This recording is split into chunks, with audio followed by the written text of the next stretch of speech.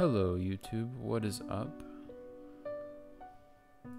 Today we will be talking about how neural networks generate audio and specifically how to train our own music generation neural network. Um, this is going to be a very high level overview of how to accomplish this task in the Wolfram programming language, which is a a fairly beginner friendly uh, version of a machine learning framework that you can use to accomplish something like this. So the audio that you are hearing right now is generated by a neural network. This neural network is actually a two-layer gated recurrent unit network with a history of 25 notes. So given the past 25, its job is to predict the next note.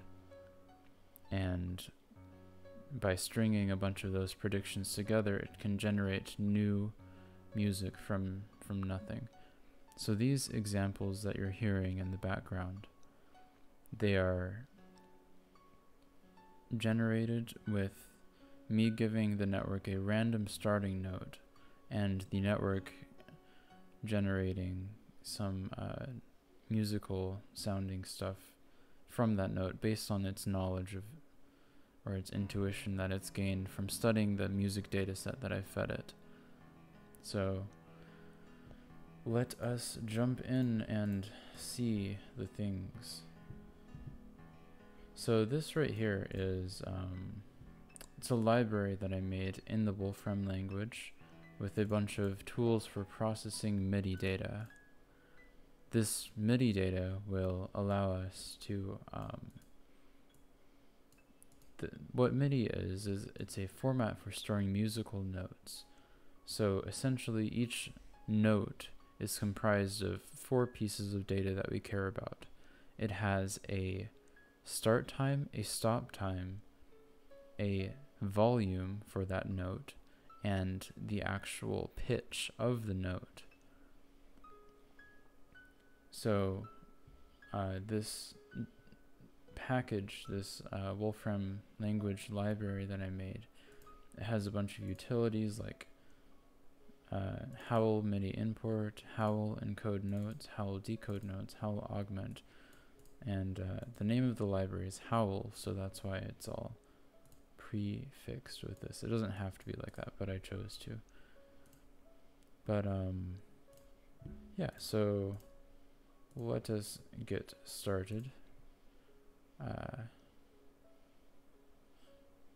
in the past, I built this, right, this uh, little piece of code that will actually import all of the data that I have into a data set and it takes uh, 600 seconds to load 140 MIDI files that I've that I've downloaded from various content creators on the internet that I like. So uh, this dataset no failures is a special uh, function that or sorry it's the result of a special function, a query function that just deletes all of the failed imports from our dataset. So this dataset is clean with no imports.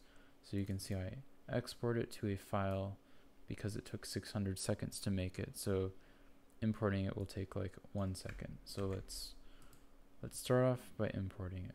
So yeah, basically what I'm going to do here is take my two-layer GRU network and I'm going to recreate that network with some slight modifications for training it more efficiently and I'm also going to increase the size and we'll see what the end result is. So in the meantime, I'm just going to keep looping data from, or not looping data, looping music that was generated from the first edition as as a form of torture to encourage me to finish this a little bit faster. So let's uh, let's continue from here. Okay, so here I have on the left the old example that I'm using, or that I made, and then here on the right, we're improving that. So with import, I can just say dataset is equal to the saved dataset that I that I have. Oh no, I don't want to do that. It's very important with this stuff.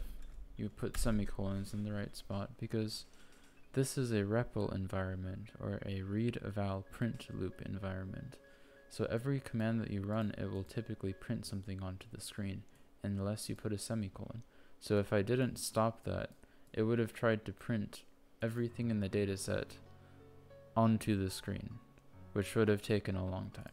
So semicolons are important in the Wolfram language because it's a way to tell the computer to shut up. Let us continue. So now that I have my dataset, let's look at the keys in the dataset.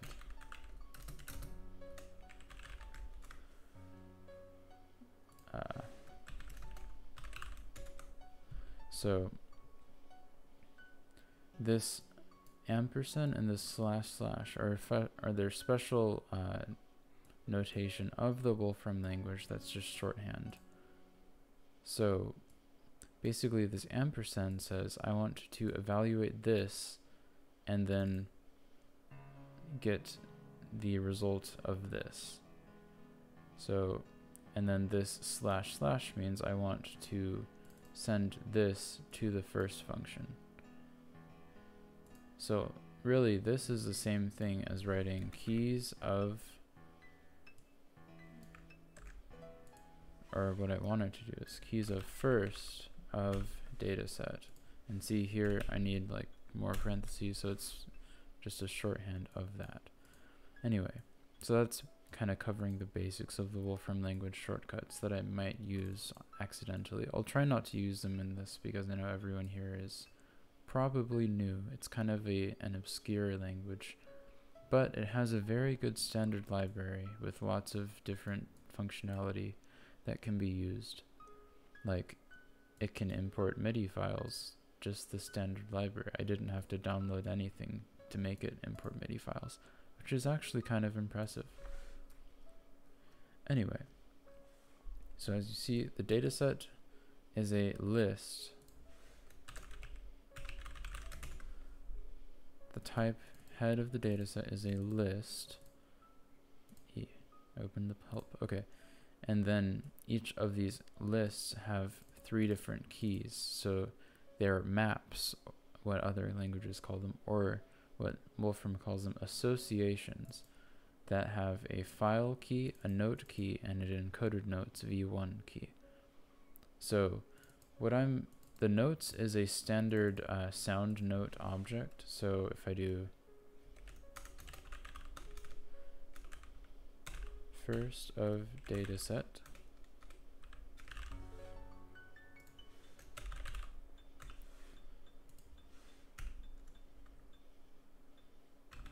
So if I access the dataset with a double square bracket at the position of uh, sorry notes. So this is going to give me the first note in the first uh, key or sorry the first element of the dataset. So the dataset is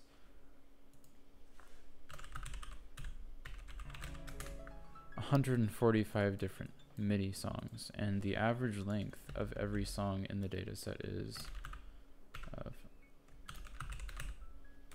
So I'm going to map the length function to the dataset.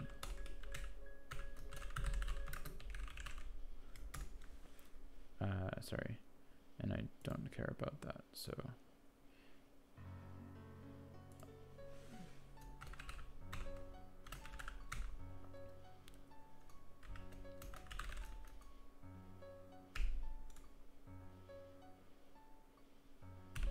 So I want to map the note key to the data set and then map the length key to that and take the average.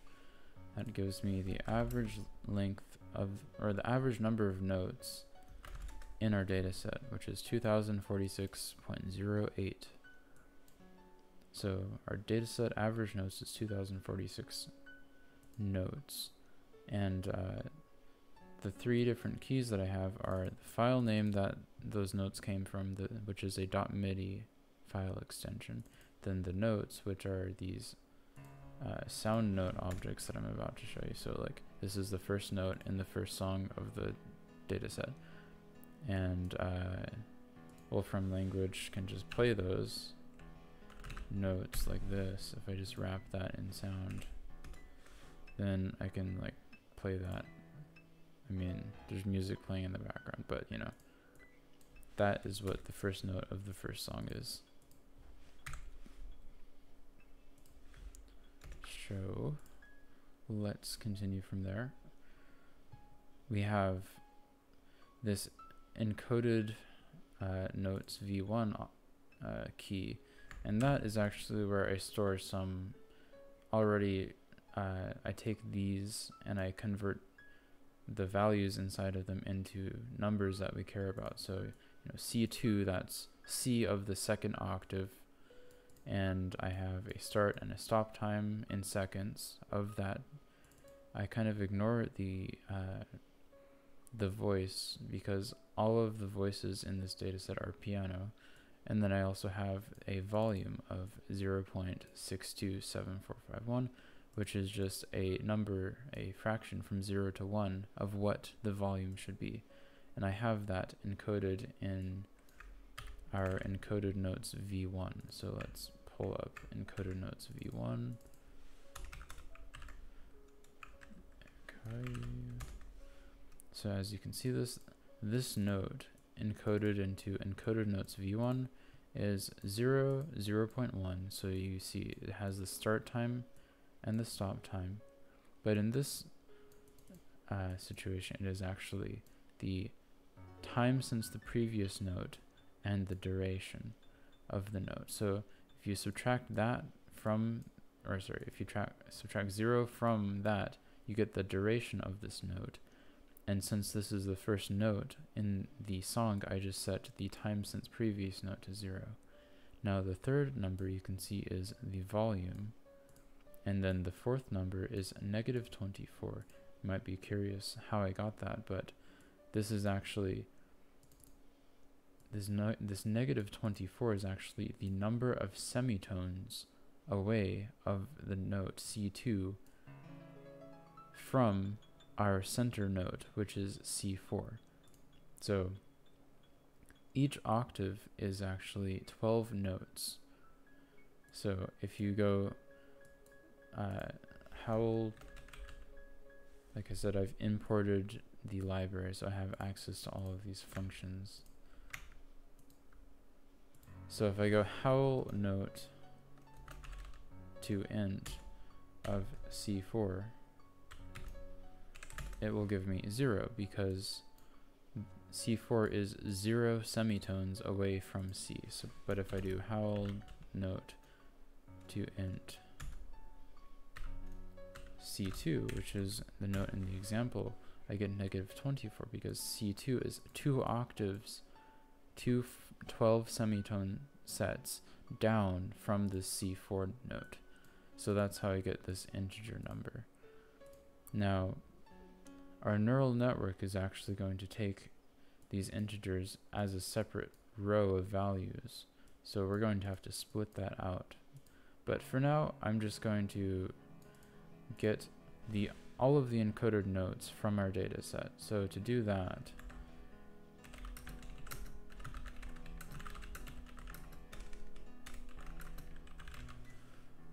what I'm going to end up doing is mapping a function called key with the key that I want, which is this uh, encode notes v1 key. Okay, that was oopsie. Okay, so I map that onto the dataset. And then I'm going to call that dataset encoded, or just encoded actually. And I have a semicolon so it will not yell at me for the next five minutes while printing out numbers. So length of, we will instead print out the length that we get. So as you can see, encoded is 145 notes, or sorry, 145 songs long, which is the same as our entire data set. The difference is if I look at the first value of encoded,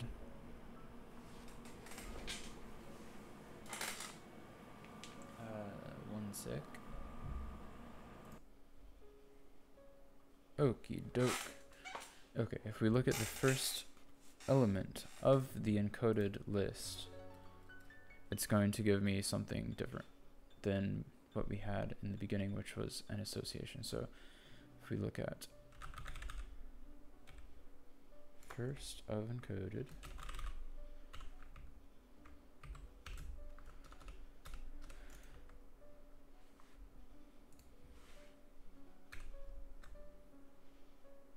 Actually, we don't just want first of encoded, we want the first element of the first song of encoded. See, that is our encoded number. So now this encoded is just an array of these things. Actually, I'll just show you the first. So as you can see, that is uh, a lot of data. I'm just going to show all of it. This is going to be like 2,000 notes long. Yeah, that's a lot of beautiful data.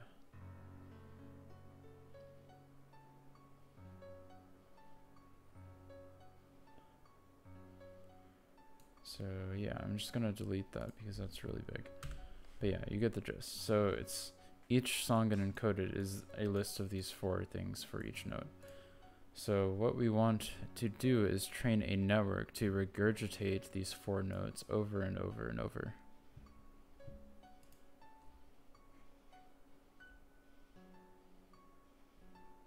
Okay.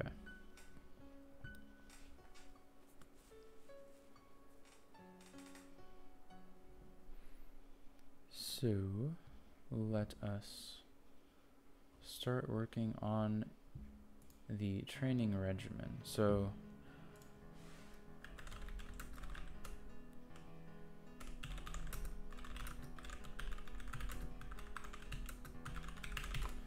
So I'm going to look up a guide that I found on the in the Wolfram language documentation that's actually kind of helpful. It is right to here. So this uh, guide, train a net to model English, will be the basis for what we're doing. And actually it was the basis for what I did in the past. So um, the first thing that they do here is they turn their dataset into a training dataset, which we kind of don't need to do. We'll make a function that does that on the fly. But the uh, really interesting thing is this neural network setup. So as you can see, they have a two-layer GRU network, gated recurrent layer, gated recurrent layer, two of them, 128 cells. So that's exactly what we're listening to right now in the background. And what they do differently, I did it the lazy way where I sequentially, I just take like, you know, a random slice and I'm like, okay, predict the next note. And then I just keep doing that. What they do is they actually use this sequence rest layer and sequence most layer to output, uh, not to output, to take the output of the model at every time step and actually uh, use that to calculate the loss. So what I do is I just take the last output of this network and I'm like, how close was it? But what they do in this example is kind of interesting. They use a teacher forcing net, which is taking the output at every single every single time it feeds the network one of the notes in the list, it's calculating the loss and using that to optimize the network. So this kind of thing is way way smarter than what I was doing. So we're going to have to uh, copy copy this. So uh, yeah, I'm just gonna I might I'm gonna change the architecture in a little bit, but yeah. So the big thing here is like this is designed to work with English. We are not using English. We are using notes, and notes have additional metadata to what English has. English has characters. So, you know, A, B, C, D, E, F, G, and then like period, exclamation point, whatever. Whereas this has notes from C, or yeah, from C negative 1 up to uh, B8. All of that note range. And then it also has uh, this data attached to it, which is the time since the previous note, the duration of the note that we're talking about, and the volume of the note that we're talking about. So all of this information is very critical for notes and it's not present in English. So one could say that we are with this looking at at least four-dimensional data because we have these four different values for every word, whereas this is closer to one-dimensional data. Now, of course, that's not exactly true because in English, uh, as you can see with this unit vector layer, we turn words, like, or not words, we turn characters as an A, B, C, D, E, F, G into a unit vector which means each character gets its own dimension of the input. So the English language, if it has, you know, 48 characters or whatever, it will have 48 dimensions. Now we do a similar thing with a note. We uh, turn the note. Is it going to let me open this? Yeah, okay. It's just really, really laggy. Okay, that's not what we want. It's these things down here. So this is the network that I have the first time, the one that we're listening to. So basically I have the notes, which is a vector of n classes. So uh, you can see it has uh, it's it's a class input so um, n by 120 is the size of this class input. And the reason it is 120 is that is the number of different notes that we consider, and then we also encode our notes into a unit vector. But in addition to receiving those notes encoded as unit vector uh, character type of thing, we also have um, our note data, which is n by 3. And what the three means is it's this first these first three pieces of information. We have a time since previous note, a duration for the note, and a volume of the note. So these three pieces of information are kind of concatenated with this 120 dimensional encoded note value. And the combination of all of these uh, pieces of information is our input to the network, truly. So as you can see here, the size of this is n by 123, which is because we have 120 for the note encoding dimensions, and then three dimensions reserved for our three pieces of note data. So uh, let's start by kind of replicating that input as we have up here. So for the sake of this, I'm just going to copy and paste because what we had before is still pretty good. Uh, the biggest difference is really if you look at what their example that I copied from the website here.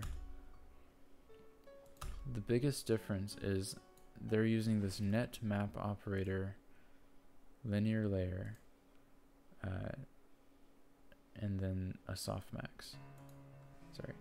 So we have the softmax, we have the linear operator. The big thing is we are not using this netmap operator. And what this thing does is it will actually take, instead of the final output, which is what we do here, where we take the uh, sequence last layer, instead of doing a sequence last layer, we want to grab all of the different input data from the linear layer. Or sorry, we want to grab every single output of our sequence. So at each time step, our gated recurrent unit will have an output state that can be utilized for a prediction. Right now, we throw away all the intermediate output states and we just use this final output as the input to our prediction. But really what this is doing is it's doing all of, it takes every single output of the network and uses that for training. So this is very, very way, way, way smarter than uh, throwing all of that valuable training information away. So I'm going to copy our netmap operator and instead of doing output as a sequence layer, I'm just going to do uh, output is, or sorry, output sequence last. I'm going to output is a net map operator of identity.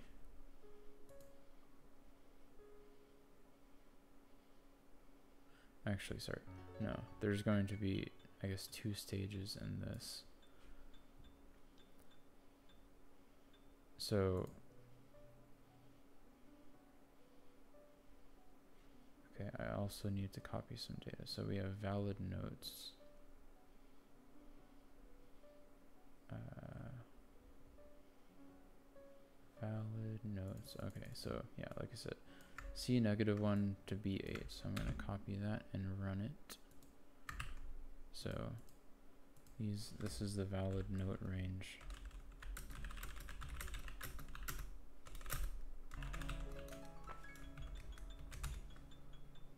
Okay, so we have range from C negative 1 to B8, which 120 notes total. Uh,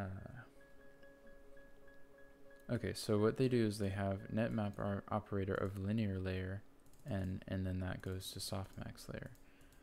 And instead, we're just going to do identity is the output and then we're going to do something similar where we have netmap operator of linear layer with the length of valid notes and then also for the note decoder we're going to be doing I don't know why that's in a net chain but that's uh, kind of excessive we're going to be similarly doing netmap operator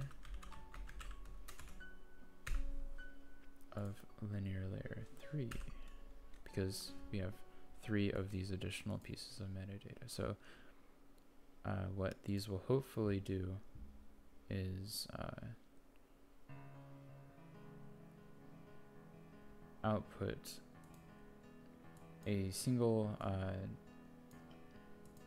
not a single, it will output a different uh, prediction at every single time you feed it an input.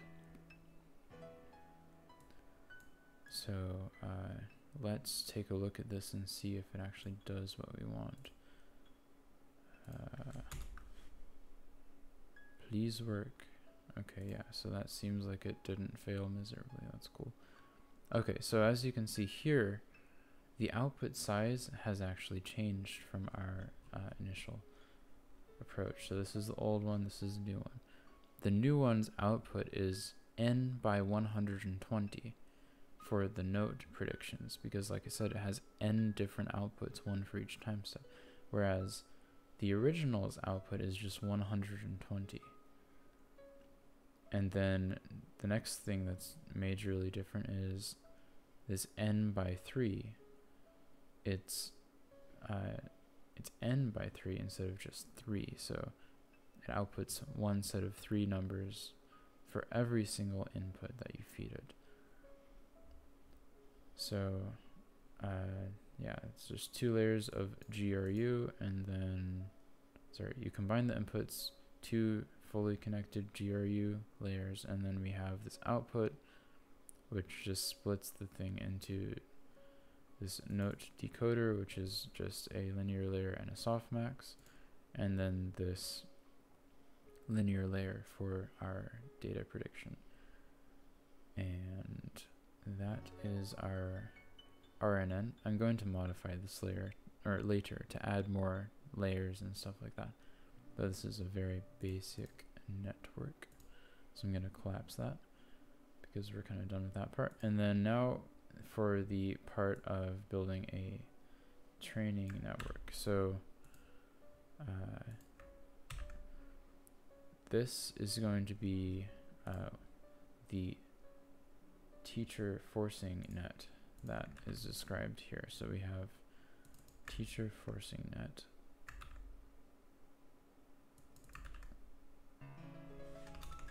Teacher forcing network. So uh, TRNN is training RNN. So as you can see, I'm using SL1 loss, which is a smooth L1 loss function, which is just L1, but instead when the number is small, you uh, take 0.5 times the square of the difference. And uh, yeah, so that's a slightly nicer, smoother loss function than just using absolute value loss or L1 loss. And then for our note predictions, so yeah, we use these for the triplets of information, the three pieces of data, the time since the previous note, the duration, and the volume. We use smooth L1 loss for that. Whereas for the note itself, we're using this cross entropy loss layer. And cross entropy is just the categorical loss for these unit vector data types that we talked about a little bit earlier. And uh, so now we have, and then finally it just, it adds those two things together and that's our loss function. So as you can see, that's very uh, straightforward. Uh, here it's actually, you can see it the notes and the note data goes into the RNN. The target notes, the target note data, the target notes goes, oh, sorry, the target note data goes into the SL1 loss with the prediction notes data, and then you have the target, the output notes, the predicted notes, gets cross entropied with the target notes to give you the categorical loss for all of those different categories. And then you add those the SL1 loss from the note data and then the categorical loss for, from the note itself together. And that is our final loss function and we just use that for training. So instead we want to use this thing which is it takes the input it takes sequence most and then sequence rest and then right now they only have one type of loss but we have two types so it's going to be slightly different there. But we take the entire prediction vector that we're now outputting for every single time step, and then we take the entire, uh, so, okay, sorry, this takes sequentially the first element of our sequence, and then the first two elements, and then the first three elements as time goes on, as t the time step increases, and feeds that to the network effectively. And then at each time step the sequence or SR it feeds in the rest of the data and uh, kind of staggered it will take the loss from what the model is predicting at each time step to what the output should be at each time step and the output should also should always be uh, this sequence rest, which is the next note uh, as time goes on. So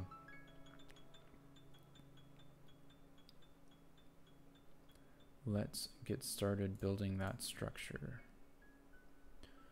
Okay, so uh, as you can see, why is the formatting off?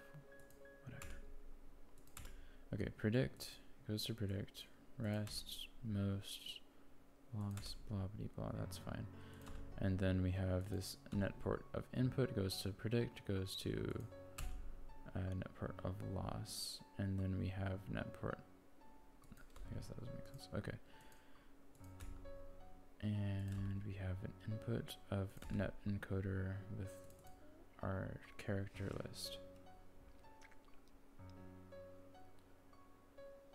Okay, so this teacher forcing net is going to predict or sorry, it's going to take the prediction network, which is in our case RNN, and it's going to have a rest layer and a sequence most layer.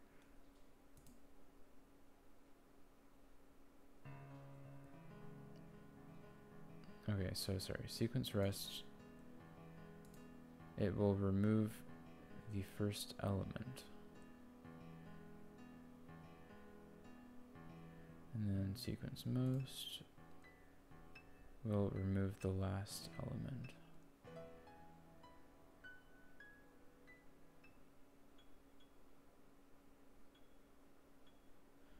Okie doke. Let us figure this out together. Current network. Okay, so sequence rest layer. Uh, it will take a sequence of inputs and remove the first element.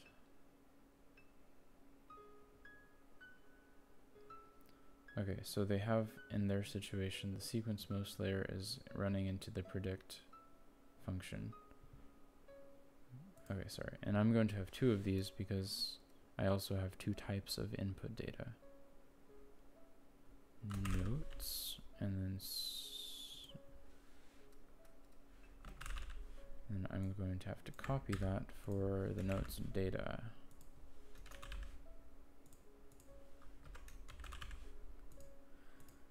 Okay, doke.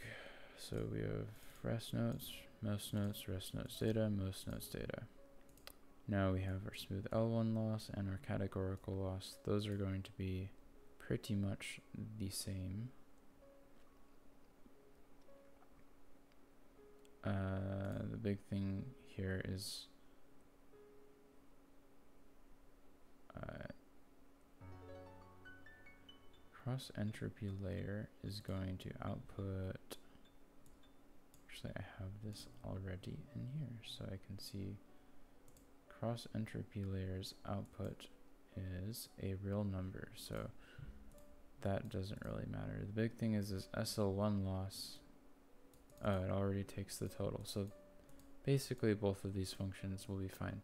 They just take the total of whatever you feed it. Um,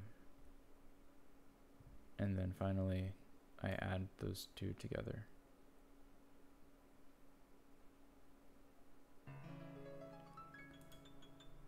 Okay, so go back to this diagram. We have the sequence most layer going to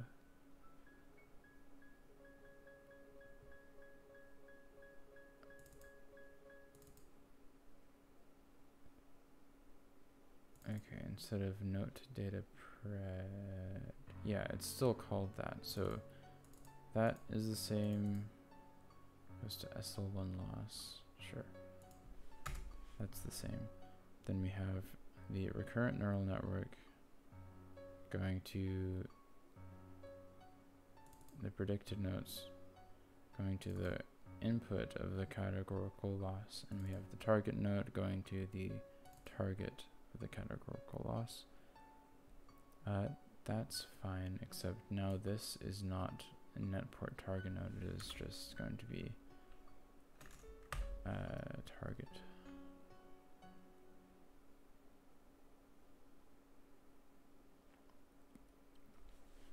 Which is actually, in this case, I wish I could see that object. Whatever. CE loss. Cross entropy loss layer of index, which appears to be the same thing that we have. And it has two things, the input and the target.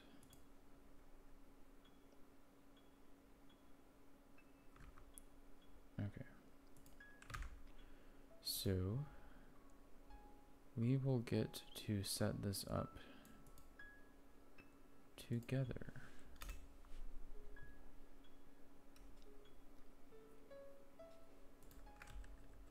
Okay, so we do need net port target node. That doesn't change. That doesn't change. The difference is this target value is no longer a thing because now we just feed in instead of feeding a separate target nodes we're just feeding it in one list of nodes so netport of input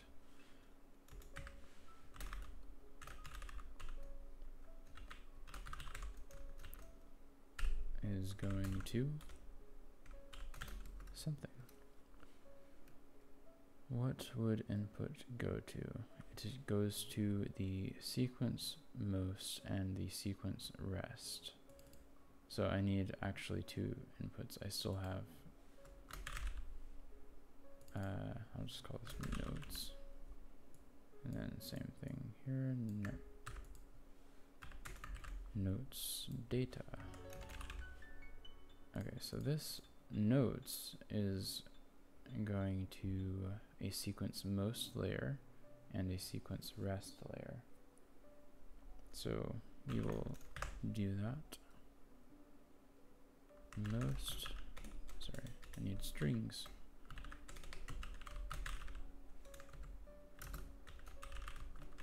So basically these strings are matching keywords up here. So this is where I set up the different layers that exist, and then this is where I specify how these layers are connected to each other. So I'm saying netport of notes. Uh, why is that inside of the thing? I don't think I meant to do that. Whatever. Okay.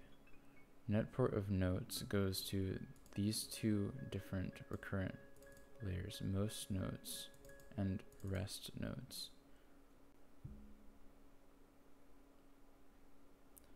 and then we have our notes data which also goes to two separate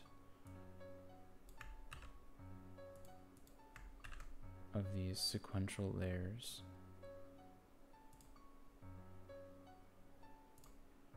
And that would be most notes. Data. And rest notes. Data. Okay. And for now, that might be okay. Okay, the big difference is now there's no such thing as target notes. So that does not exist. And then I'm just to write a comment here so I remember what this is. And then I'm going to also say note prediction. Yeah, that's still the same.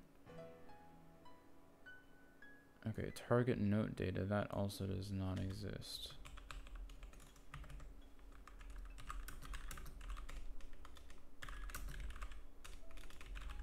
Okay, let's see how they actually wire their stuff here. So they have input goes to most, goes to predict, Input goes to rest, goes to uh, lost target. Okay, loss input. So we have categorical loss instead of loss, but same thing. Excuse me. We are going to take our net port of Okay, so that's the thing. Target note data, that is actually going to be sorry, this is going to our SL1 loss function, but it is going to the true category of our SL1 loss function. So it will be our target, which is why this comment says target. So target comes from the rest uh, sequential layer sequence rest. So we're going to just do rest notes data because rest means our target in this situation. And then here, our target notes will be from most notes data. Oh, sorry, sorry. it's rest. Target is rest, so it's going to be rest notes. Rest notes goes to categorical loss target. So yeah, their rest goes to target, their most goes to input. So that's the other difference. We have now notes data is not supposed to go to, uh, sorry. So that's fine. Okay, SL1 loss. Note predicted goes to input, sure. Rest notes. Actually, I don't know. That might be fine. Let's try to run this and see where it fails. Okay, target note. Target note is not a thing.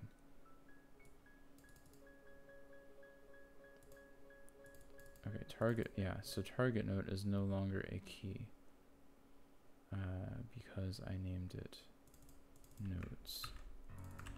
And then target note data is no longer a thing because I just called it note data. And it is now uh, actually varying. Sorry, I need to do caps. And because there's now n by the number of classes, and this is now n by 3.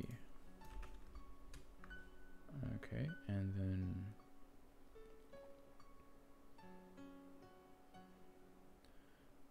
input port new okay oopskies and then I need to do a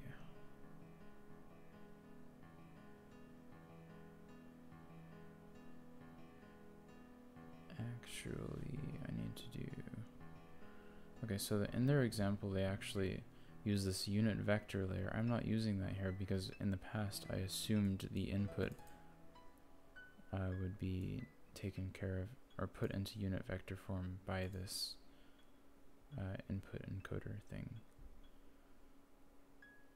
It's not compatible with port notes.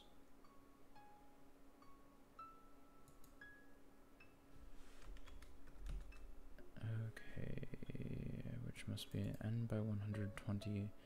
Okay, so I think these things, like the input specifications, actually kind of fall out so I'm actually going to add just a unit vector layer here that takes the input.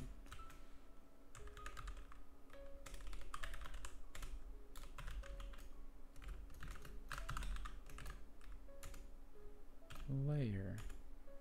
It's just going to vector as whatever I give it, I think. Okay, and then we also have to say that the notes is going to the vectorizer. in quotation marks. No, that is not what I wanted to do. Vectorize goes to stack input, goes to that. Okay, really stack input is cat catenating then. Okay, whatever. I don't care. The names are fine. Okay, so let's just see if we can do this again. We do not want to unit vectorify it because now it is actually vectorifying that in the thing. Looks great. Okie doke. Let's try this. Okay, inconsistent value for dimensions output of the net with an operator of layer SL1 loss. Inconsistent value for dimensions. Okay, so need to look at SL1 loss and net port of RNN, note data predicted, and rest notes data. uh, are different sizes or something. So I'm going to say for now these things do not exist and see if we can get it to continue without them. Okay, second argument should be a list of rules. A list of rules. I guess I broke something here. That's not broken. That's broken. Eh, okay, that's also broken. Let's try that. Okay, second argument should be a list of rules. That's broken. Okay, SL1 loss uh, is not existing right now because I just got rid of it. Okay, so that seems to work. Anyways, so we have this weird system where categorical cross entropy it's taking the cross entropy between the rest and the RNN.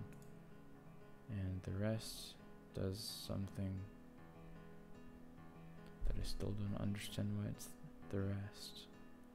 Not.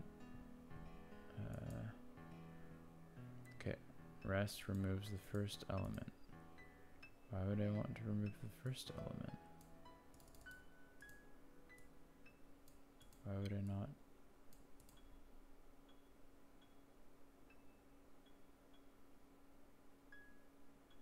Okay, okay, sorry. It removes the first element, so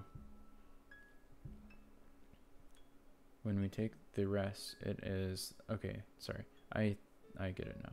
The rest means elements 2 to the end are being compared with elements 1 to the end.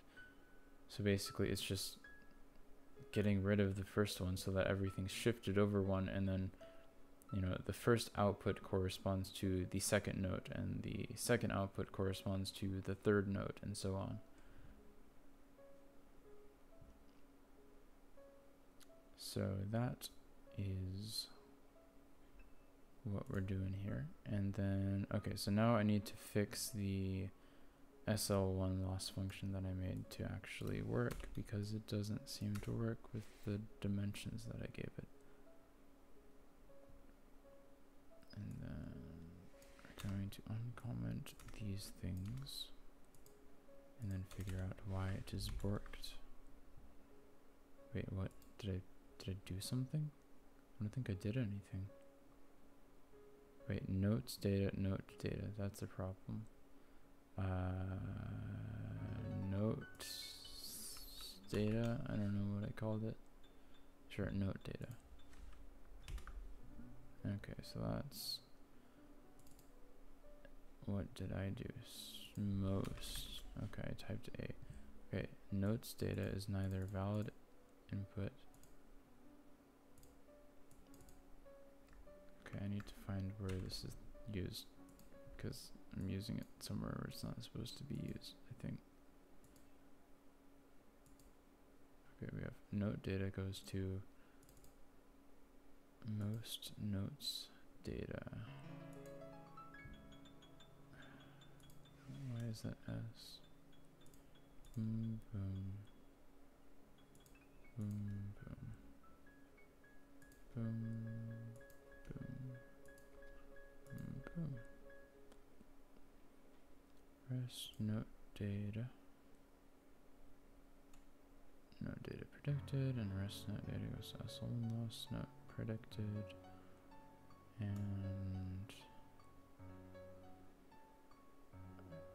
because the input rest. Node goes to categorical loss target. Okay and then this is still messed up for some reason. I don't really get it. Hmm, okay let's see if that notes data. Note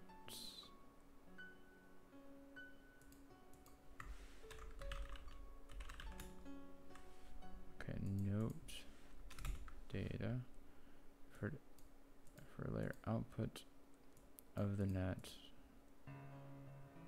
Okay, doke. Let's just try to uh, say total.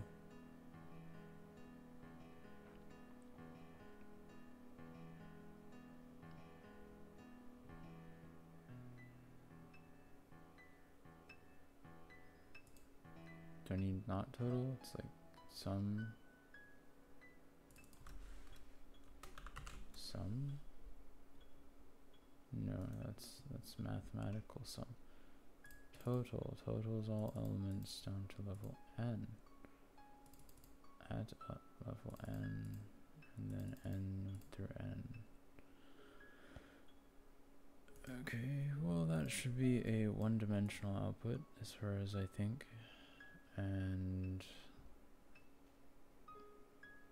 okay, I'm just gonna comment that back because we don't need it right now. Okay, so we have a loss function, which is a real SL1 loss. Oh, it's a vector of size 3. Oops. Uh,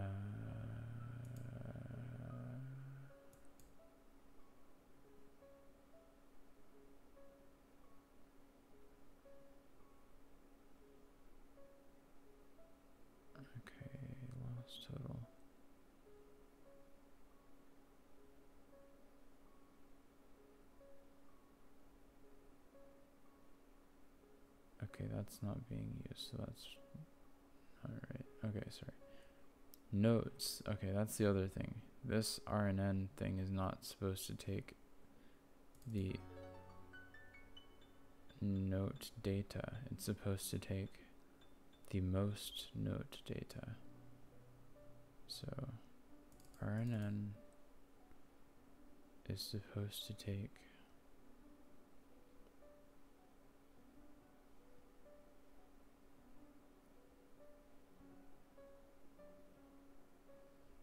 am I even specifying what the RNN takes? Right? Is it implicit? Is it implied? What is this? Why would they do that? Okay, whatever. Most note. Let's do this. So the RNN, it takes two inputs note data and notes. Okay, so we have most note data and notes. Oh god. Okay. RNN. Let's do it. Okay. Beautiful. That's uh that looks better. Okay, now we need to figure out why this is still broken.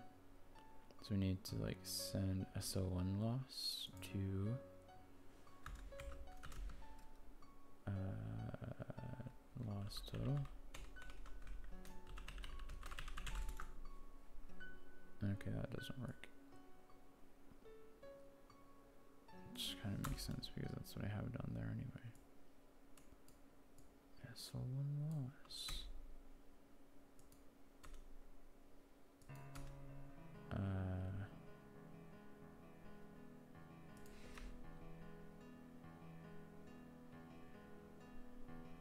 like I feel like there's another thing I'm supposed to do here. Let's look up layers.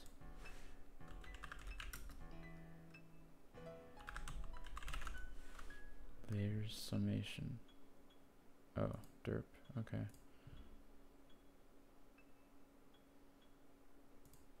Summation layer. Layer at. Oh, oops, let's try this.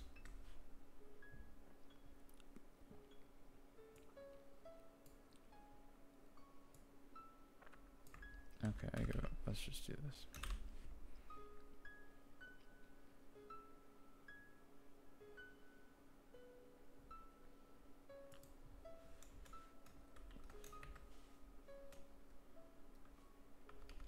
You know, we can just make this a chain.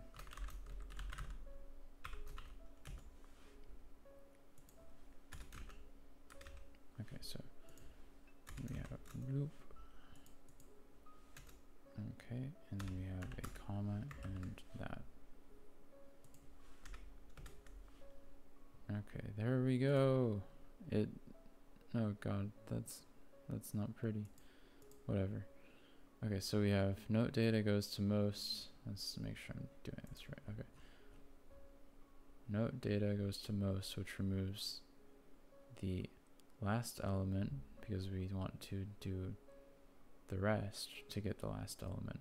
So it removes the last element and gives you the rest of them, and then this removes the last element and that's shoved into the network and then the network outputs a thing that's compared with the note and then it outputs the note which is compared with the rest. And then you sum them together and then I need to uh, I need to make that go into the right thing. Uh, that needs to go to loss total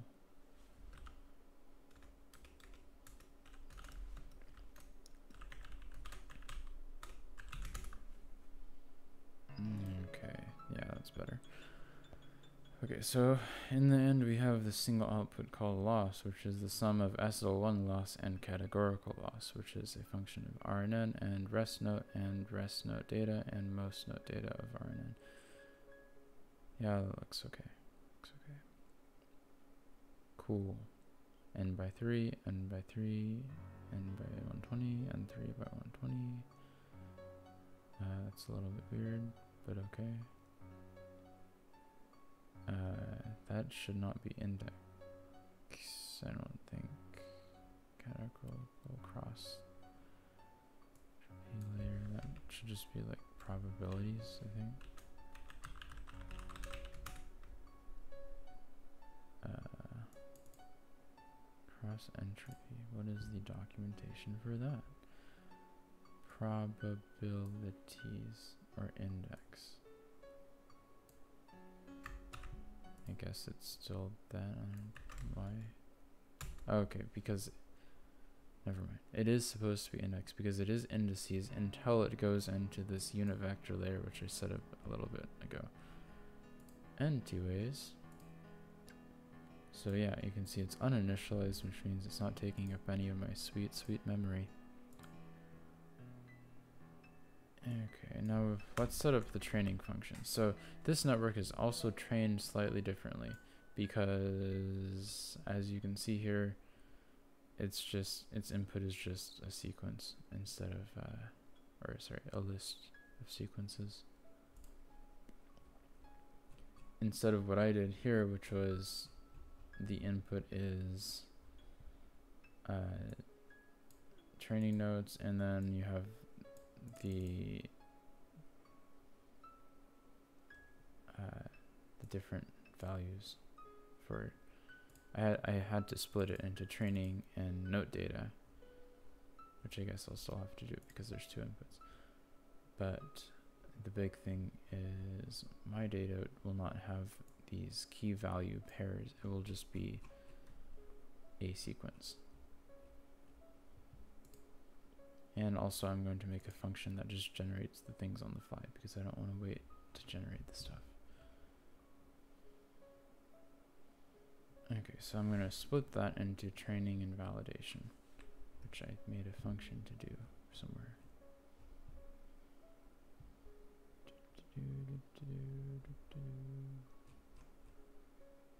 Uh,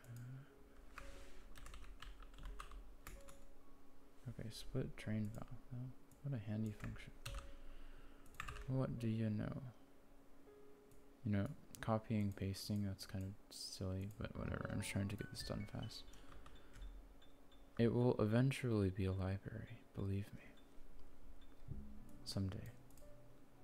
Okay, so... Uh, okay, then I have train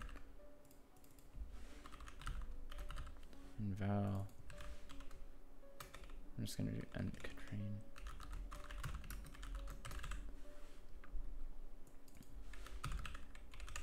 So we already have this in this encoded format. And we're also going to do one extra thing. Oh gosh. Uh, didn't define it. You need to run things. Cool. Okay, len at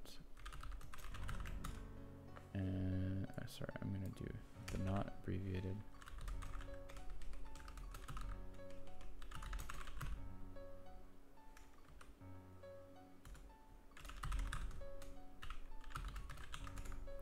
Okay, so we have 129 training examples and 16 uh, test examples. Or, sorry, validation examples. We have zero test examples because we are the ultimate judge. Our beautiful ears will listen to the music and determine if it is good. Okay, and then finally we do need to decide on a sequence length and a sampling strategy.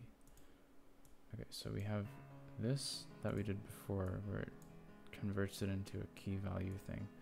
So we're going to take that and then we're going to slightly modify that.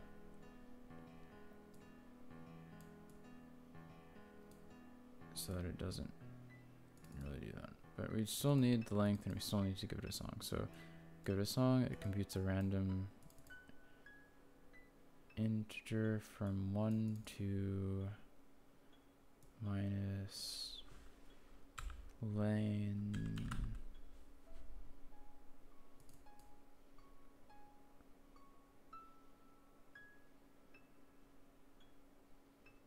uh, and I also want to say if it's less than that then use zero so I'm just gonna say max of that and one. Sorry. Two so I, I need at least two examples.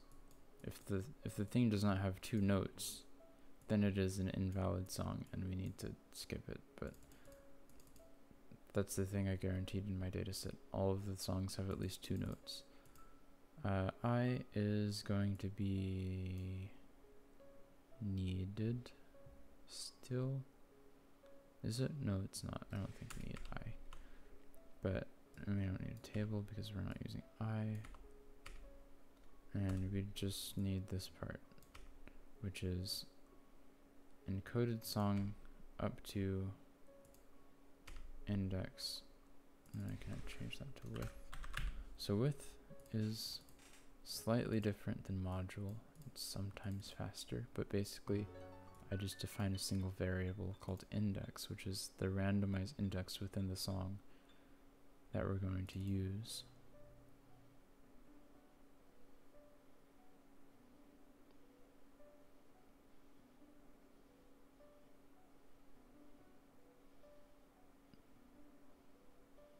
Wait?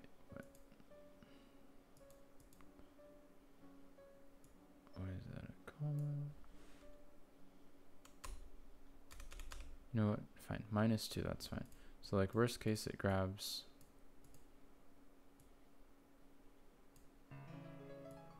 Okay, minus, minus one. I don't know why this is breaking my brain. It is, uh, it is kind of late. But we have a randomized integer between 1 and the length of the song.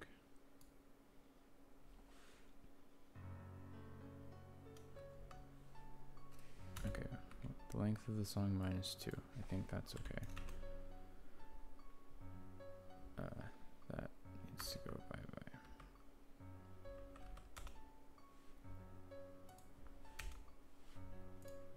bye. Okay, so the thing I'm concerned about is if it gets to the end, or okay, if it gets a song that has two notes, then the length of encoded song minus two will be zero, and range of one to zero is not good, I don't think. 1 comma 0. That sounds... Is it always going to... Okay, sometimes it's 0. So not exactly what we want. We don't want the index to ever be 0 because in this language indexes indices start at 1 which is, uh, I don't know, it's okay. You get used to it. Okay, and then minus 2, which is really minus 1.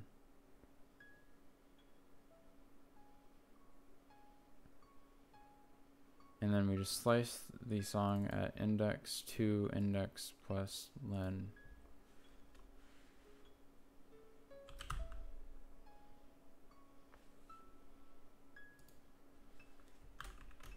We're going to do up to because think that does something that will save us if we do something bad. Okay, so cool. And then let's say our song is like a random list of between 1 and 5. And we have two, two of these random integers. So sample song of random integer 1, 2. And then let's say we want a length of 4 there's not four, so like, okay, I guess that that works. It's just giving me two of them. Cool, it doesn't crash. Okay. So crisis averted. Now we have 100 and we want four. Cool, and now we have 100. Cool. I guess I guess it works. Do we even need what is index for? Eh, whatever. I guess it's kind of random how many it gives you because I'm asking for 100 and it just starts at some random location. And it could be close to the end. Uh, okay. Let's say I want to print the index. to make sure it's making sense because I don't want to mess this up and crash halfway through training. Okay, yeah, so if index is 12, then it gives me 89 examples. If index is 42, it gives me 59. If index is 76, it gives me... Wait, what? Uh, 25 examples. 68 plus 33. Okay, well it's inclusive, so really that's like 67 plus 33. Why did I do that? 67 plus 33 is equal to 100. Okay, that's... I think that's what we wanted, not really sure. But the big thing is if it has like a thousand, and I should always get a hundred. Oops. Okay, why is okay? That's a little bit, a little bit off there. Oh, because uh, yeah, something like that. Okay, well that's not right. Up to that minus one.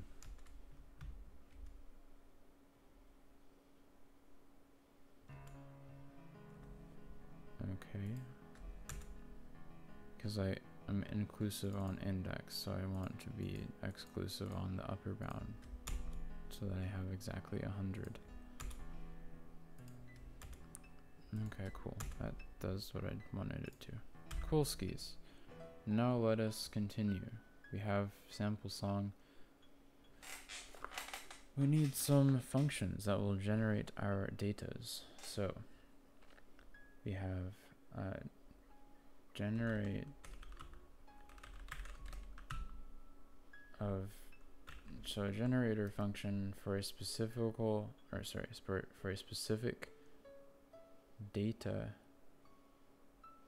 set thing.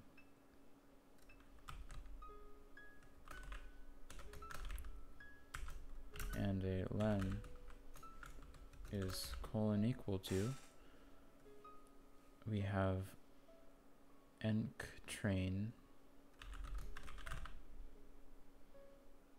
No sorry sorry. We do not want enc train we want uh Okay, sorry. I need to look up the documentation of this really fast because it's been a little bit of a while since I saw this thing. let us see what is NetTrains documentation. Okay, so I want this case where it has a function. What happens?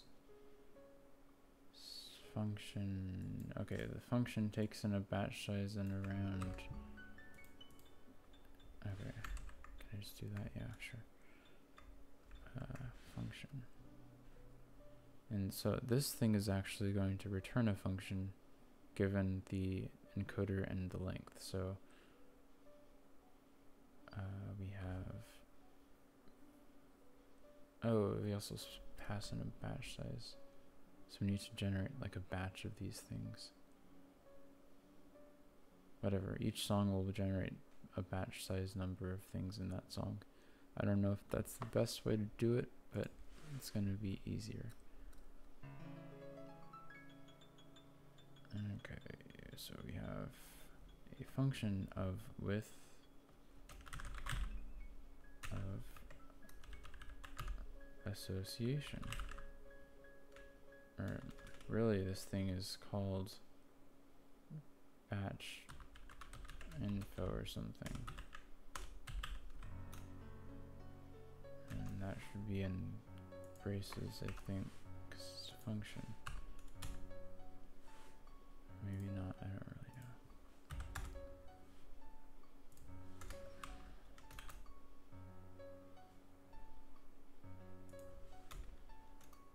Guess you don't need the underscore. Okay. So you have batch info that your function takes. And batch info is actually with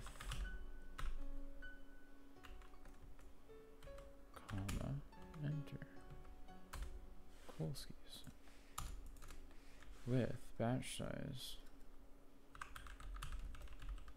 is equal to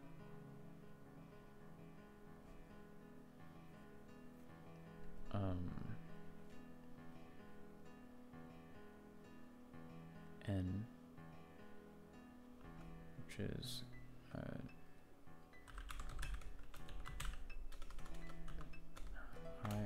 info at sorry edges at batch size comma round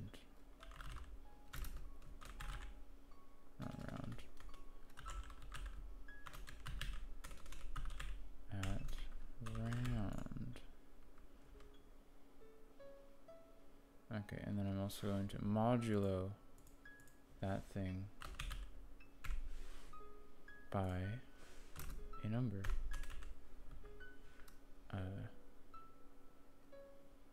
mod batch info round by len of enc to use. And then I'm going to add one because modulo is not doesn't start at 1, but indices do. Okay. And now we're going to take the generated datas and return them. Or make them and then return them. Okay, so sample song. So we're going to map sample song. There's table. I'll do table. So batch is equal to of uh, we have enc to use oh sorry we need to sample the song of enc to use at position uh, round because the round numbers are going to be one round per song, comma, len, and we're going to copy this batch size times. Cool, cool. Yeah, that looks good to me. Looks good to me, right? So yeah, this thing It's a higher order function. It returns a function. Oh my. Okay, and then we're not just going to sample any song. We're going to uh, augment said song. So how augment v1 of the song. So we're going to augment the song, sample it batch size times with the specified length, and then do that. And then we're actually not done yet. We have to do one more thing. We have to do uh, encoded to net input. And I actually did this one already, I think, somewhere. Uh, yeah, sure. I did something kind of similar. Enc to note input colon equals of enc song and it's not that. Okay. So we want note data which is uh,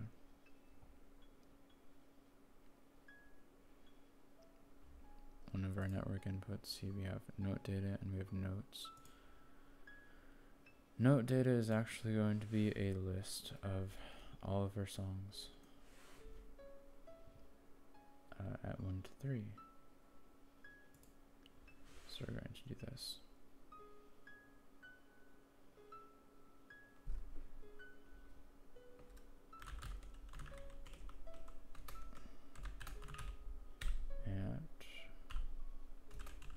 All, comma, 1 to 3. So this is going to be a list of n by 1 to 3. Yeah, it seems like it's not very efficient, but whatever, it's fine. And then this is going to be enc song at all, comma, 1, or sorry, it's, it's 4, all, comma, 4. Because the notes in our format, you can see it's one, two, three is the notes data, and then notes is four. So this will give us all of our notes and shove it into this key, and then this will give us all of our notes data and shove it into that key. And I'm pretty sure that's all we need. And it's not validation set, it is actually just, it returns an association. So enc note to input, and then so we have that enc note to input. Okay, cool. Yeah, and then we need to define those too. So I'm just gonna like make sure there's no problems.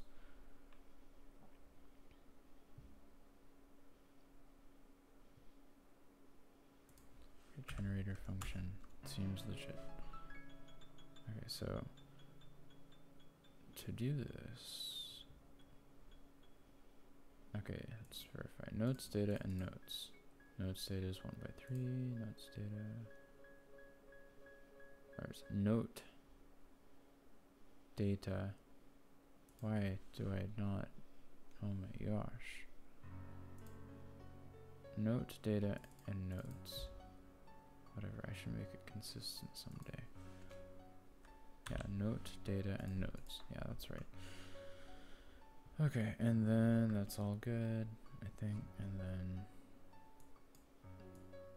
let's do one more thing, and then like net out to whatever. Let's just train it and see if the loss goes down. That will be good if it's good. Net train. And then for net train, we give it uh, none of this stuff because net train is up here. Uh, T, R, and N. And then we have uh, F.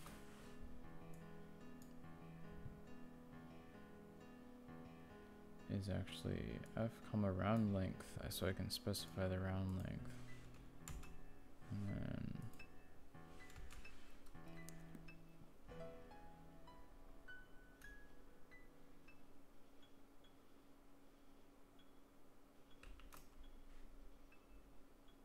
generator function, and that's going to take in. Oh gosh. What did I do? going to take in our training set because this is the training generator. So we're going to do enc train and it's going to have a length. Let's just do 25 because I know 25 is not crashy. And then comma and then round length goes to length of train. Cool, so this will do something, I think. I don't know. We'll see. Please work. First try. It's gonna work on the first try, isn't it? Oh, gosh, there's a print statement. I feel like there's a print statement. Output of training data generator function was incorrect. Oh. Enc note. Enc to net input. Yeah. Okay. I need to get rid of the print statement because print statements are bad. Okay. Yeah. Now it will be more quiet. Notes was invalid. Oh god. Notes was invalid. One or more inputs provided to port notes was invalid. What? It's not invalid.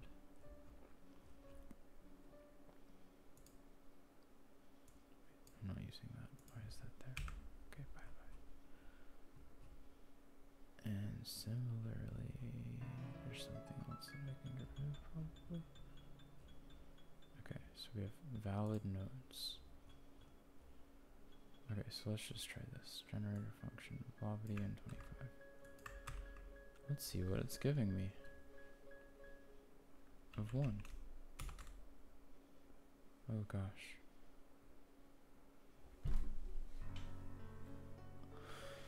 Yeah, that's a problem.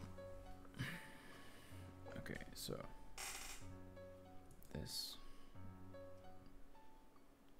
is uh, not exactly what we want.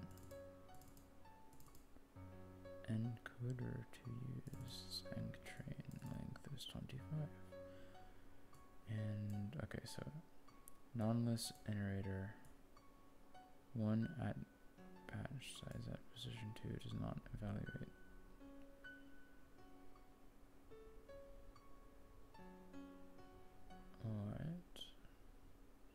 Is batch size should be a numeric value called n. Batch size.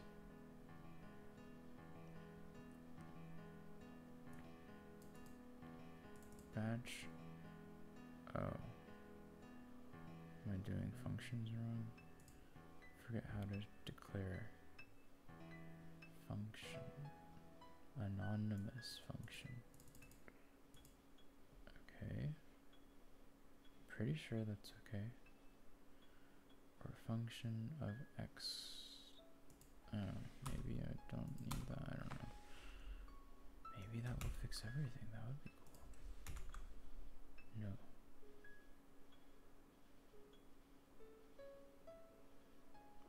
Oh, that's right. Because it's not supposed to just be batch size, it's gonna be. That's why it was being batch size and round R. Batch size is 1, round is 1. Why is it italic? I don't like it.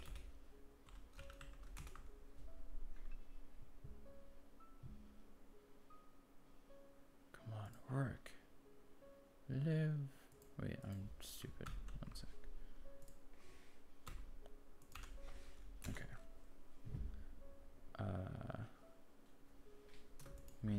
Looks okay. Except for the fact that it's not 25 notes, but whatever.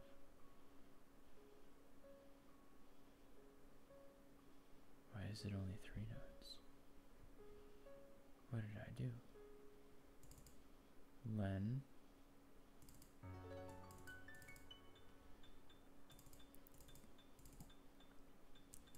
And to use at around. Okay. Sample song. Len. Index plus len minus 1 length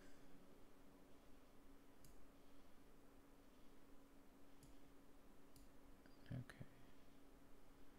yeah I mean that's kind of wrong but it shouldn't cause that kind of problem uh, note data is all 1 to 3. Notes is all 4. Oh god. Okay, let's try this again. Generator function.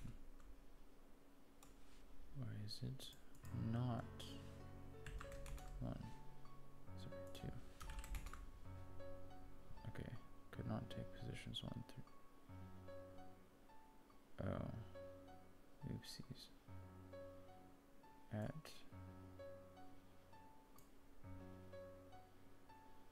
encoded song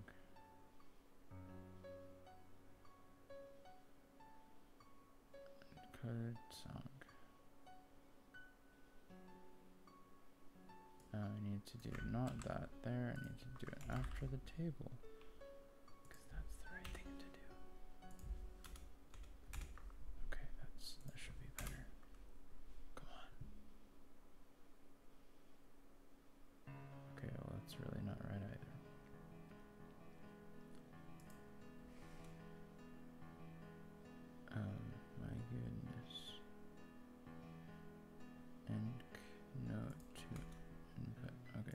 Table with batch size and enc note to input of sample song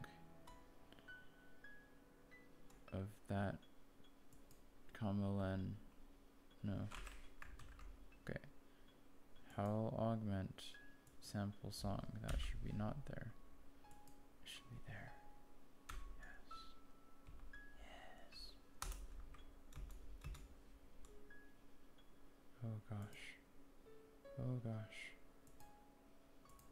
okay with bobbity blah let's do it let's go Okay, that's not right. That's really not right either.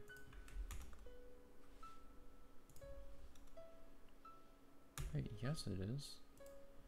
It is totally right. That is uh, one note data, two note data, and two notes. Yeah, okay, so four. Okay, that's one, two, three, four. One, two, three, four. Yeah, that's Okie doke. I think we're doing it. Let's try this again. And, uh, oh gosh. There's a lot of stuff. Oh my. I think it's working. I don't know what that is, but okay. Okay. Uh, oh, it's on my CPU. It's really slow. That's why I was kind of confused. Let's see what my resource usage is. Oh, beautiful. Beautiful. 65% of my CPU. 98%.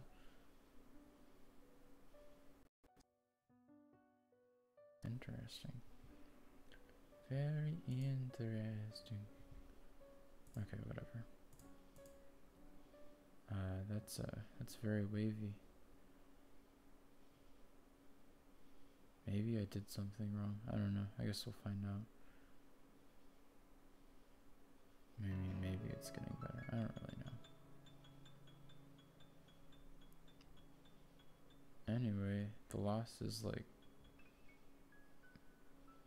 Is it going down? I don't really know what it's doing. Anyway, let's go back to this. So we have some layers. Actually, I want to try a couple of things. Okay. Yeah, yeah. So predictor.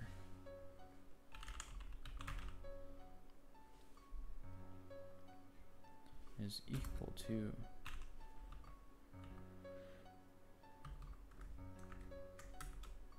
let us net chain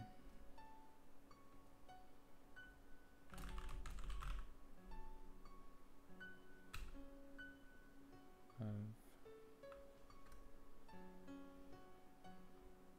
actually since there's two outputs I basically need a net graph for everything that I do so let's just let's just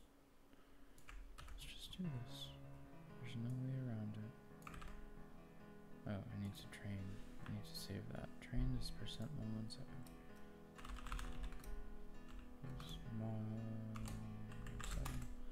So I'm just saving that into a variable which will in the future be called is equal to that. Net extract uh, let's see rn from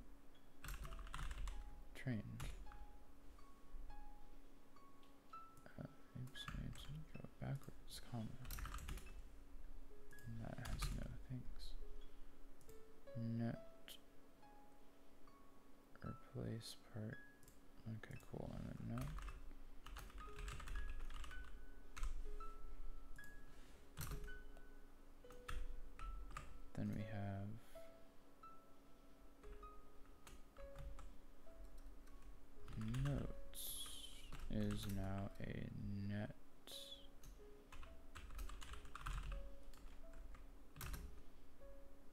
And then we have this encoder object from up here. Net encoder class valid notes.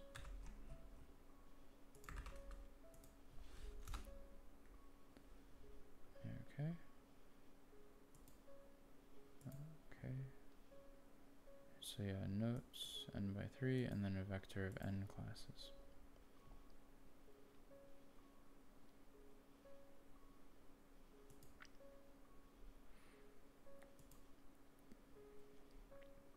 Okay, and then I need to shove those two final layers into sequence last layers.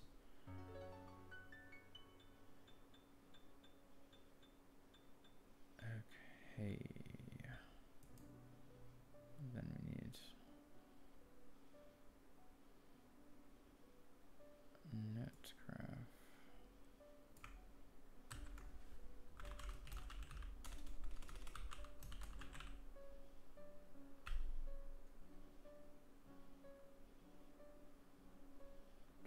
And do.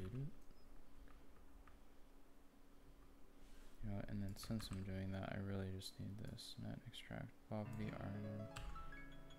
Okay.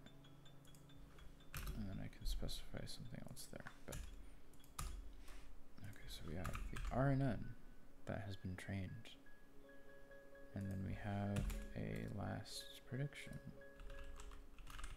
equals sequence last last layer and then that's not an equal sign because everything is silly in this world.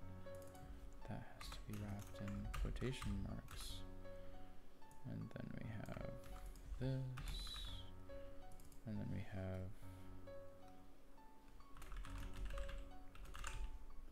notepred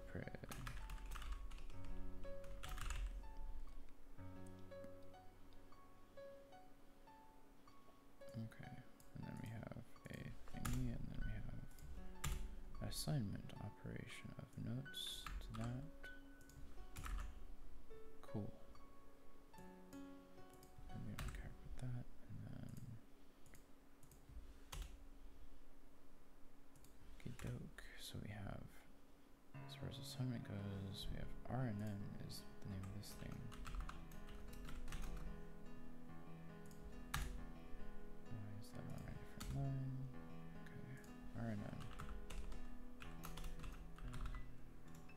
two outputs, notepred and notedatapred, two.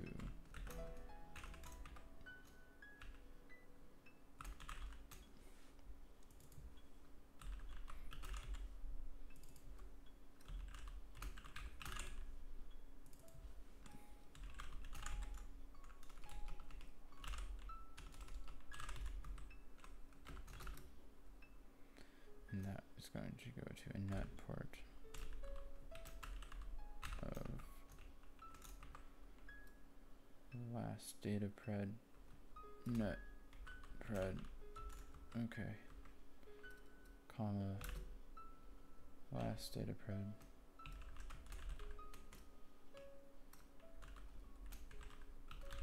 which goes to net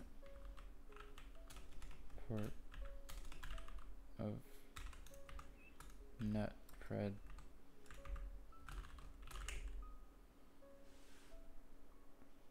data pred okay please work yes. Yes. Wait no.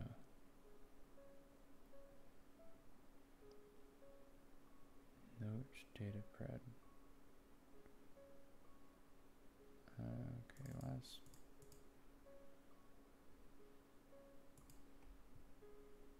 It has two outputs, note pred, note data I have to specify their names or something.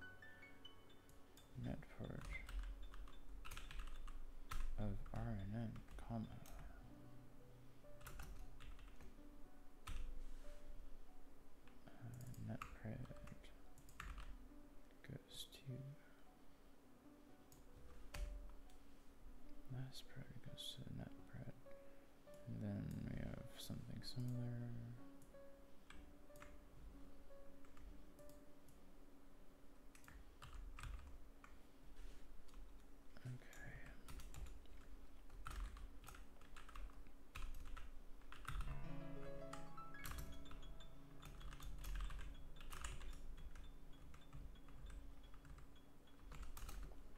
Those two. Last data pred. Okay, I guess that's okay. Please work.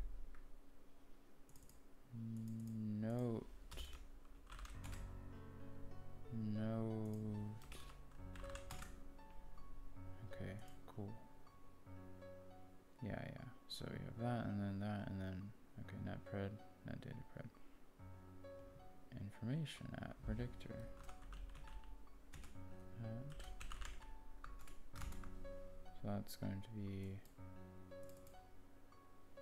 almost a megabyte. Oh gosh. I'm kidding, that's really small. Okay. So it looks like we have all the things and then I think the last thing we need is like a, a function that takes the thing and then fixes it. Note data, notes, notes, notes,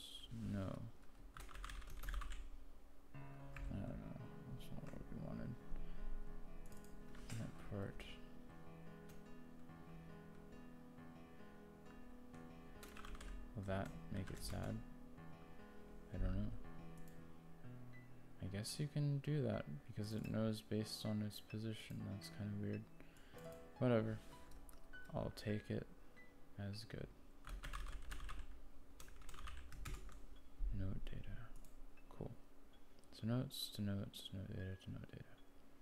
Note data is vector size 3, vector size 120. Oh yeah, and then we have... That's right. And then, uh... Notes. Will it even know what... This is gonna be weird.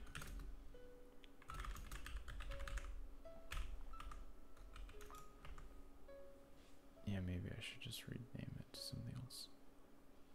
Okay, notes is a net decoder of this. Uh, whatever, I'll just copy the arguments. Uh, yeah, I didn't think so. Notes pred. Notes data pred. R E D.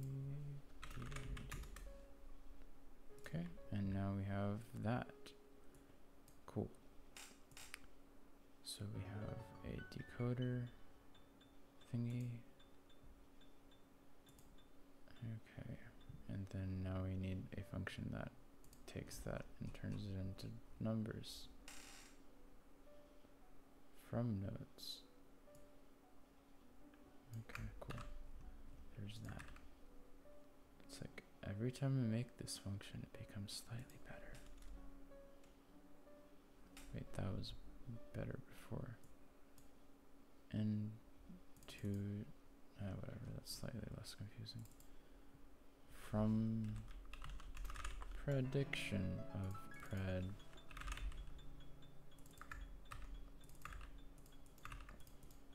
pred note data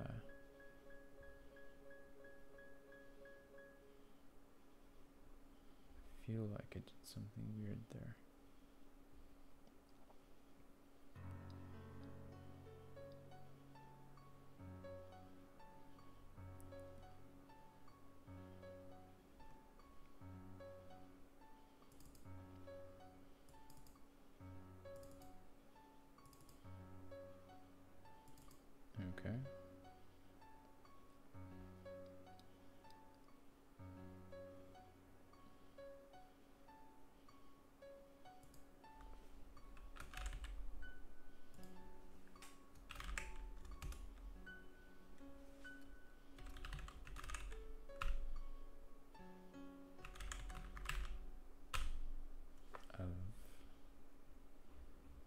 Send it? I guess the first note that we played in the beginning. Uh, sure. First verse encoded, and then we'll have to convert that to a note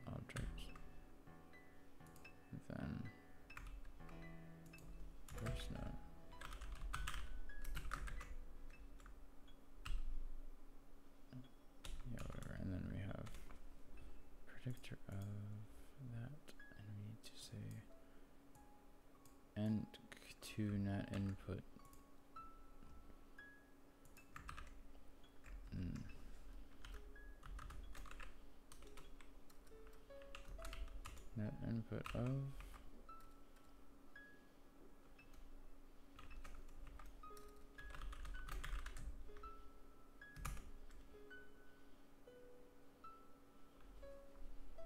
Okay, interesting.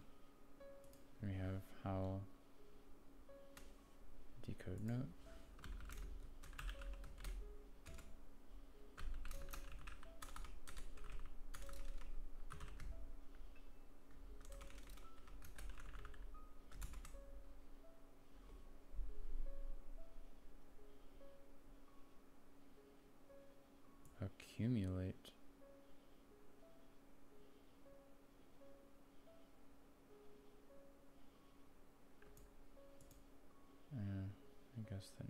That needs to be a list of something like that. I don't know. Cool.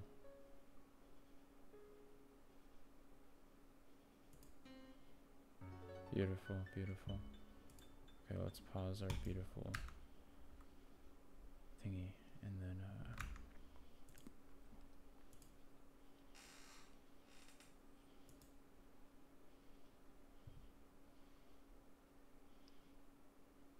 You know what? This kind of works. Okay, so we have this. Okay, so generate.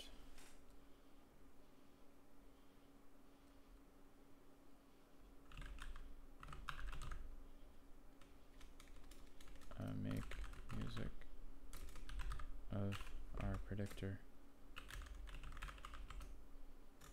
colon equals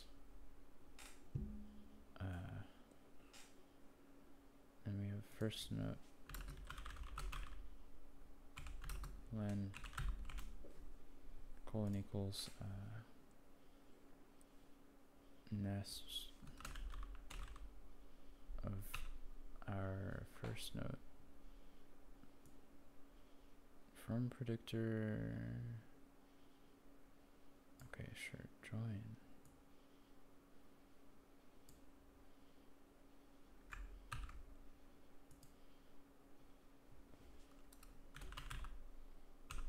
hashtag. You join hashtag with, of course, predictor running on hashtag, and hashtag is not the thingy. And of course, when you're done, you put a comma and then ampersand because ampersands are great. Okay, and then we have the starting value, which is in brackets. And then we have len.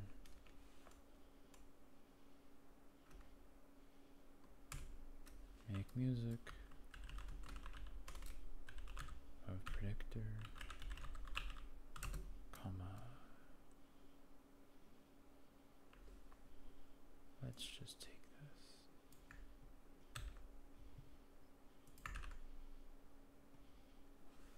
And then comma 25. Okay. Let's see, and then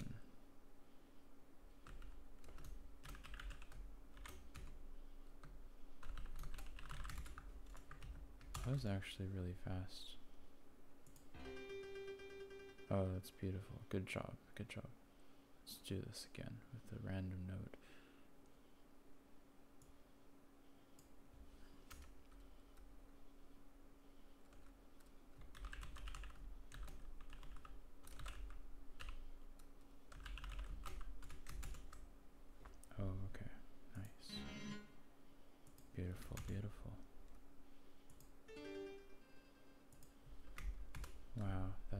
It's really something. Okay. Magical, let me tell you. Okay. So uh, that seems to do things. Now let's actually do uh, a better network and like training and stuff like that. Okay, and then also we're going to add another linear layer before the output. Output. Let's do a linear layer there too.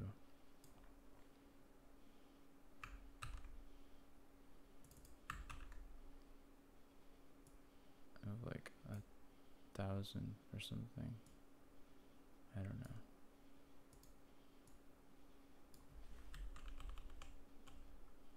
A thousand nodes. Grew three. Grew two, grew three. You know, I should just, yeah, I'm just gonna name this all grew and then combine them into thing. Grews is equal to net chain of these things that and that and that.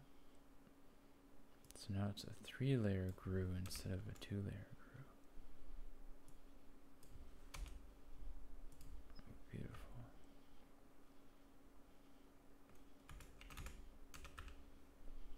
Okay. I guess that's what we need. Okay. So grooves. Okay, that's uh, probably more variables. So, when we build this, cool, and then next we have this stuff, which is fine. Now we're going to do the training again, and hopefully it's slower this time. And also, I wanted to see what the thing looks like if you do like crazy numbers of samples, like 500 at a time or something. Let's start with 200. I haven't done. The first one was only 25, so I think 200 you get some pretty good context.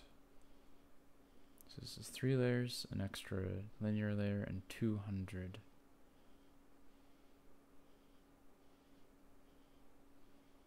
Sequence length. So let's see. This is still on CPU. Oh no. When the net to be drained has not been fully specified. What do you mean it's not fully specified? Oh, it doesn't know the number of classes. It should know the number of classes.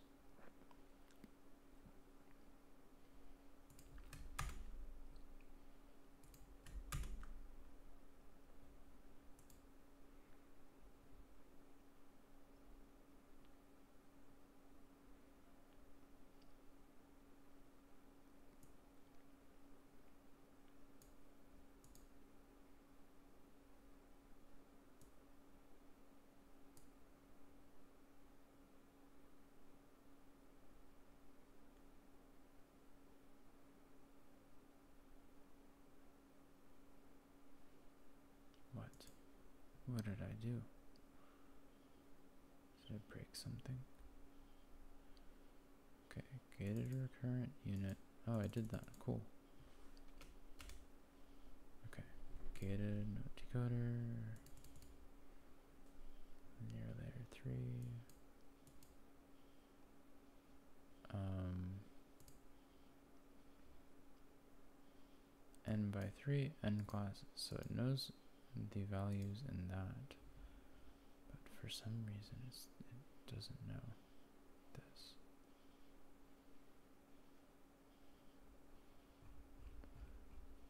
Net input something.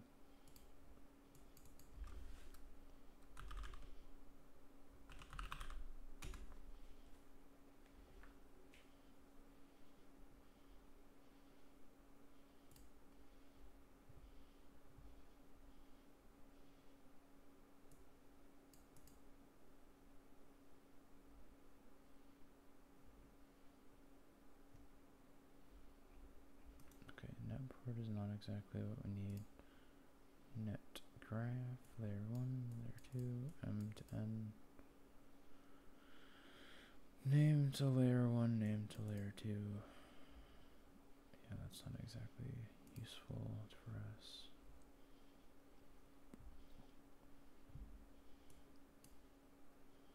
That's the same n. What is wrong with you?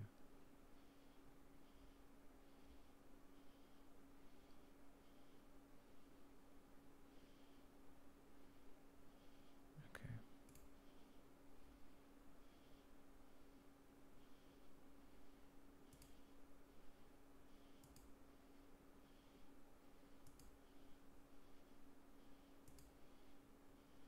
Okay. Knows the dimensions going into that thing. Wait, no it doesn't. It just lost the freaking dimensions.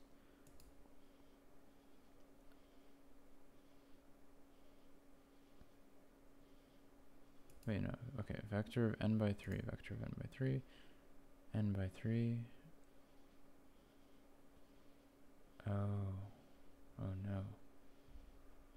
It's, it is that thing. I need to get rid of this. Guess I can't use linear layers like that. I would need to do netmap operator first. So. Uh, actually, that might be better net map operator of that and then that will generate n of those things and then the other things are on top of that so it's like not really necessary let's just do that see if that works yes oh gosh for inconsistent dimensions for target of categorical loss Okay. Well, I'm lazy, so I'm just gonna put the things back. And then we're gonna do this. And we're gonna go back to identity.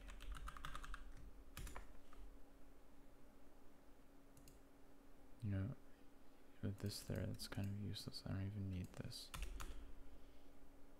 Okie doke. And then we have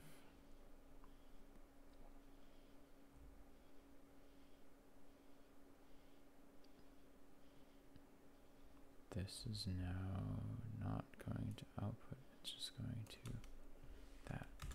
Yes. Okie doke. Let us do the training again, I guess. And then hopefully it's like very slow and uses all of my memory. That would be cool. It's actually surprisingly fast.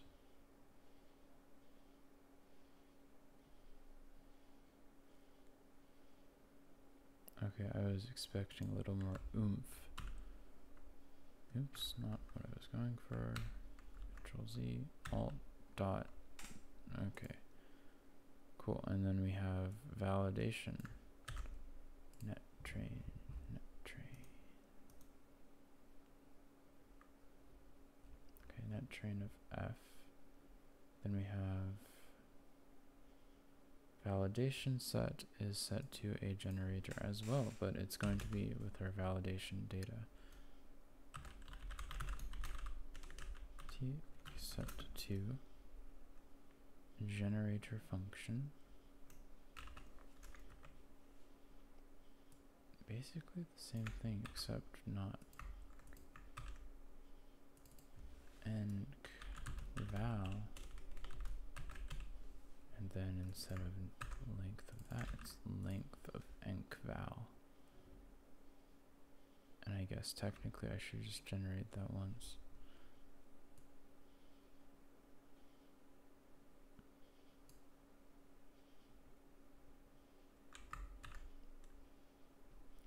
Okay, let's just do that.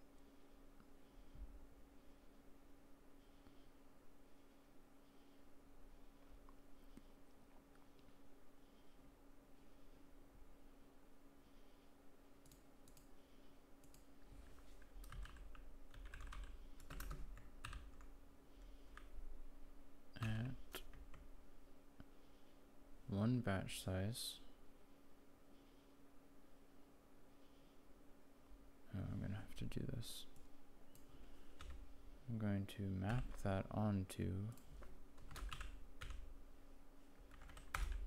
a list of things because why not? No, I'm kidding. It's because we have to.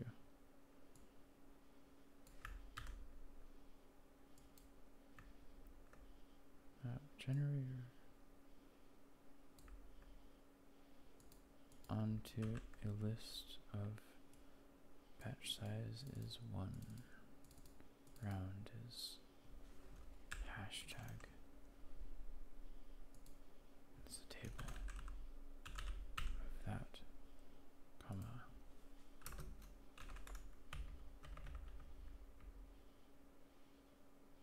No, it is going to be x.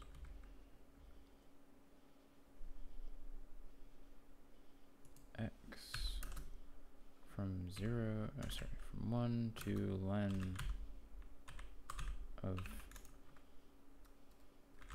enc_val. Map that onto the table. Why is that there? And this is of hashtag. So yeah, this function applied Okay, whatever, valgen.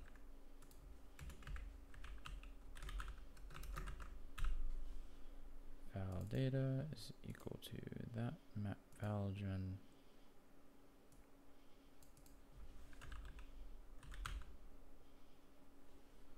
Wait, it returns a function of one variable, so it's kind of redundant.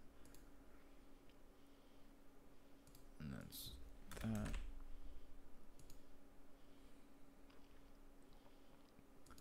table of associations. Batch size is okay. Let's do two batch sizes, and round is x, comma that.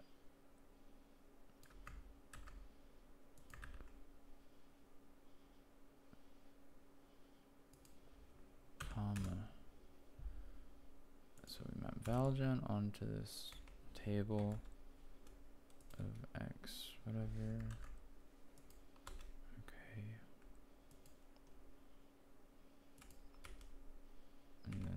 the end of the map. Semicolon.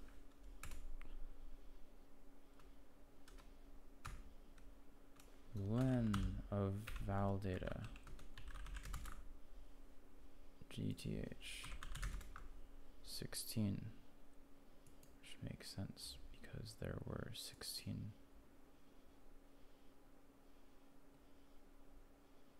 Uh, I don't oh okay. Batch size of 2 okay but really it's batch size of 32 or whatever.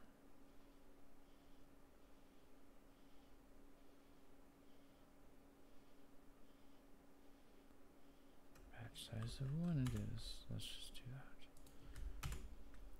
Maybe that'll work. I don't know. Thingy goes to val data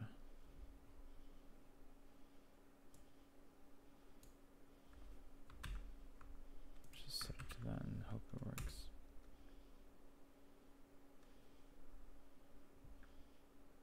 association of lists or a rule from input to output examples.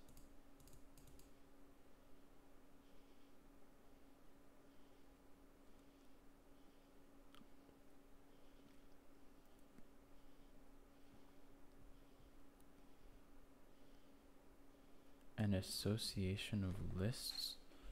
What?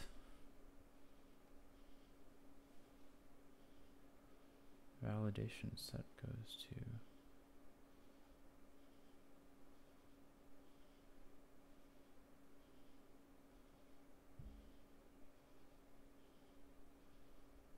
an association of lists.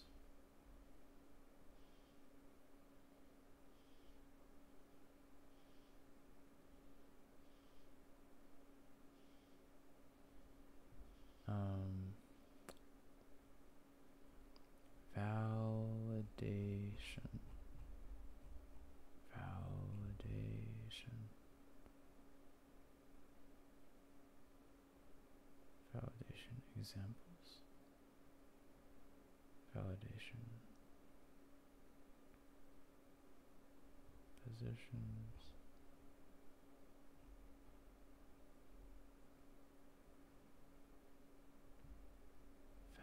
validation set has its own documentation page.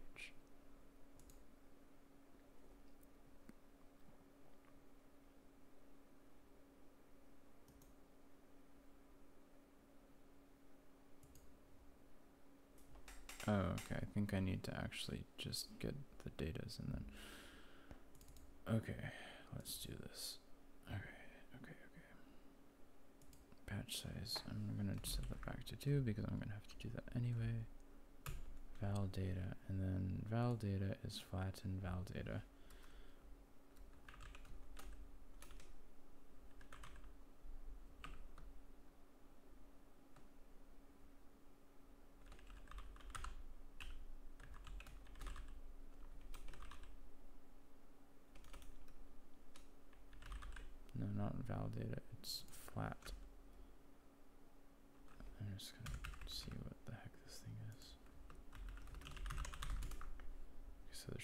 2 when you flatten it, which makes sense because it has a batch size of 2.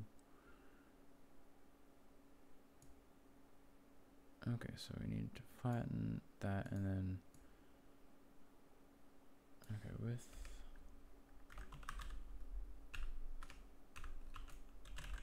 equals of data. We need association of positions. Note data.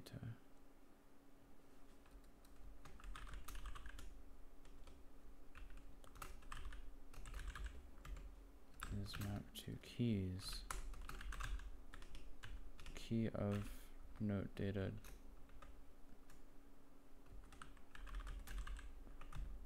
map of that.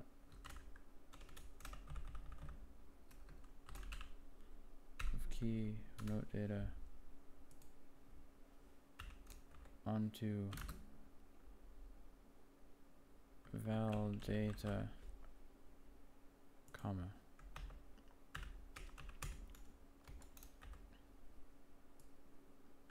note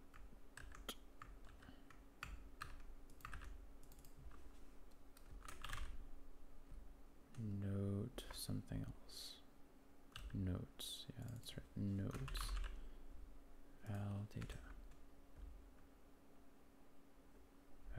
data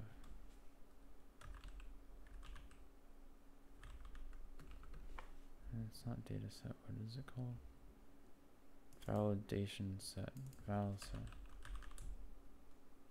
Is equal to that? Okay that was really messy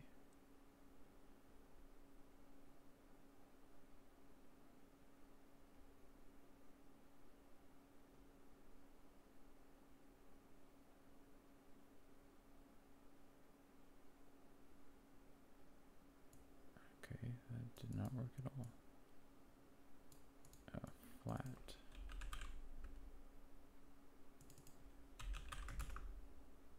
There we go. I think that worked. Let's see. Val set. 99% of the work is just getting things into the right format.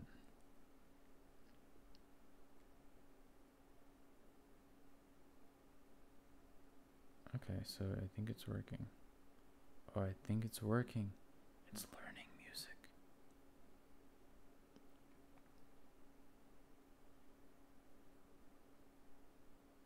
Amazing. Truly amazing.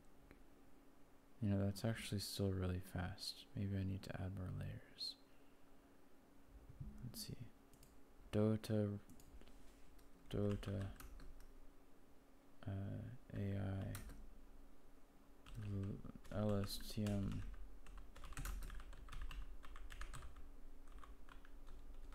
If it can play Dota, it can play music, right? Oh. That's the thing. No. Okay, okay, let's see what medium says. No medium, I don't want to buy your stuff. Okay. LSTM, LSTM, LSTM, LSTM. Oh my gosh. LSTM. Oh, 1024 unit. Oh man. A single layer network. What? Customer reward function is shaped each of as a single layer network with 1024 unit LSTM.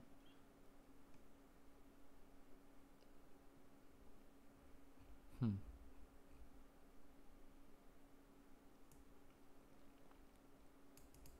I mean, maybe that's all you need. Let's try it out, huh? 1024. Well, I mean, this is a group, but you know. You know what? We'll just. Mm, we'll triple that. If it can play. This thing could play Dota like three times. Or something like that. I don't really know how this works, but you get the gist.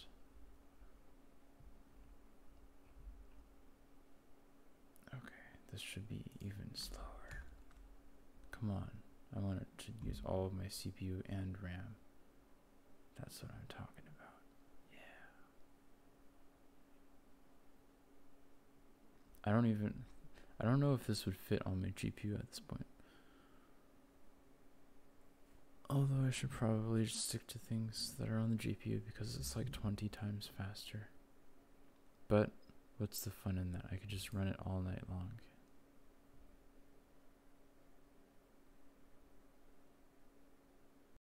What is it doing?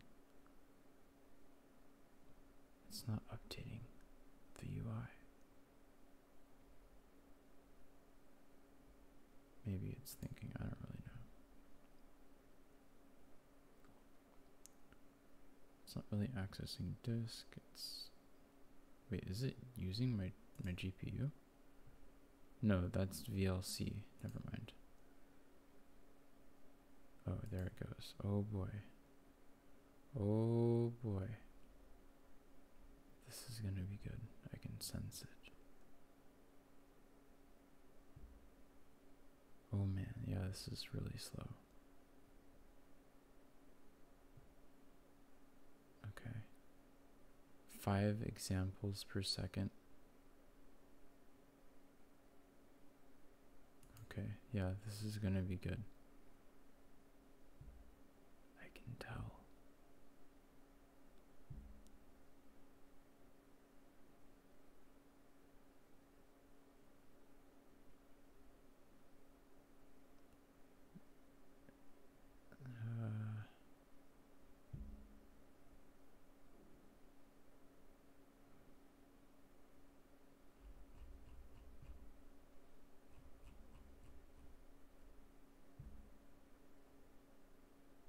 Surprisingly, not using a whole lot of memory.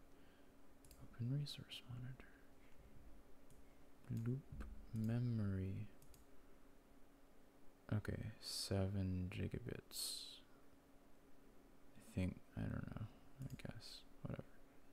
Oh no, did I do something? Oh gosh, what did I do?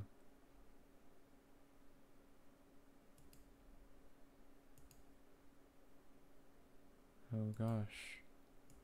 I didn't mean to do that, I'm sorry.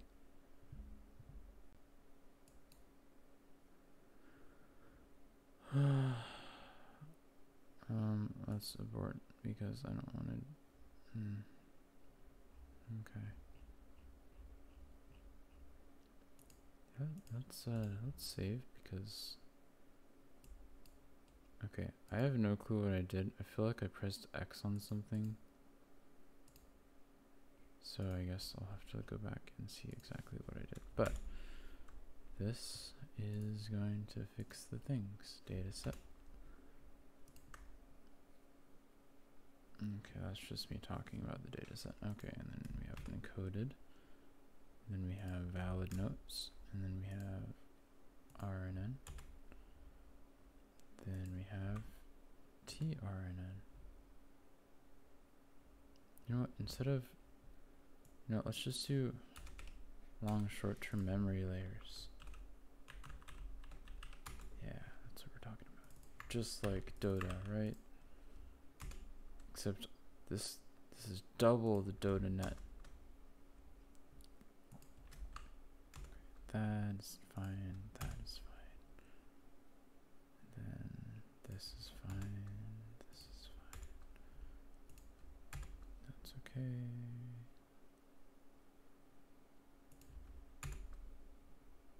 Cool. Yeah, sure. And then we're gonna do training again. Okay, we're not doing that because we're using a constant data set and then device. No, I'm scared. I just want to do CPU. You know what? Let's do it.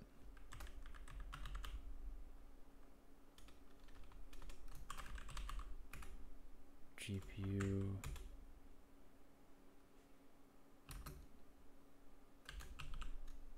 All the G. I'll just do GPU. Mm, two. Second GPU because I think my first GPU is busy doing OBS. And I don't want to mess with OBS because OBS would probably get mad at me.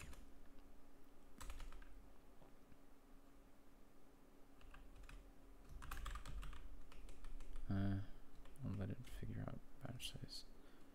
Please don't crash.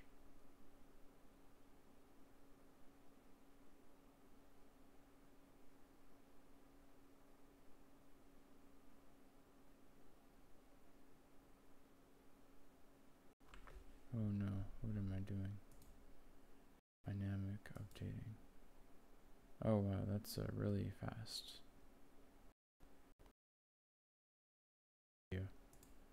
I guess I really could have gone even bigger.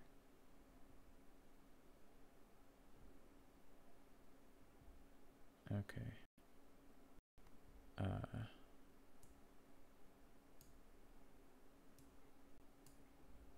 Well. Let's try this again. See, look at that. It's not deleting my memory. Why is it not deallocating? Lazy. Okay.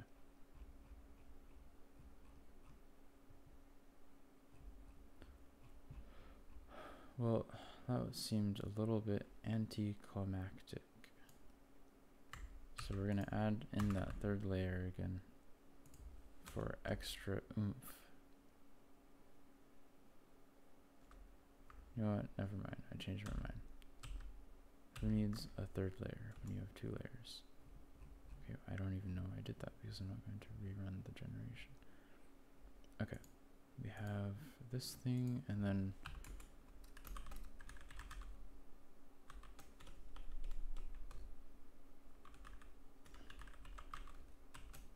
goal. Is it like goal? I don't know. I forget. Let us look up the docs for NetTrain because I keep forgetting things because this is a beast of a function. Okay. Goal, goal, goal, goal, goal, goal. Uh,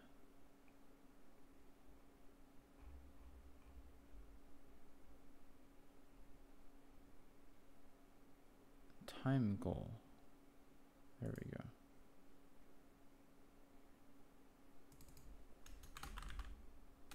Time goal is quantity. Um, let's say eight hours or six hours. I'll probably be awake in six hours. So we'll see. We'll see how this goes.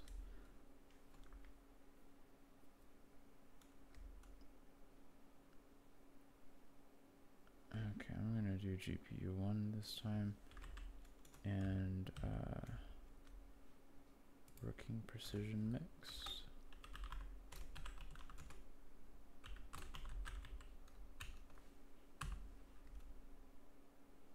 No, I don't want to do mixed. I don't want to mess with any gradients.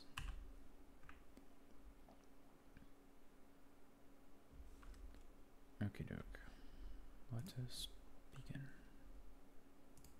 If I can do 300 or 200 like that, I'm guessing I could do like 300 pretty easily. Okay, well, if the video pauses, then I'll see you guys in the morning. Bye bye.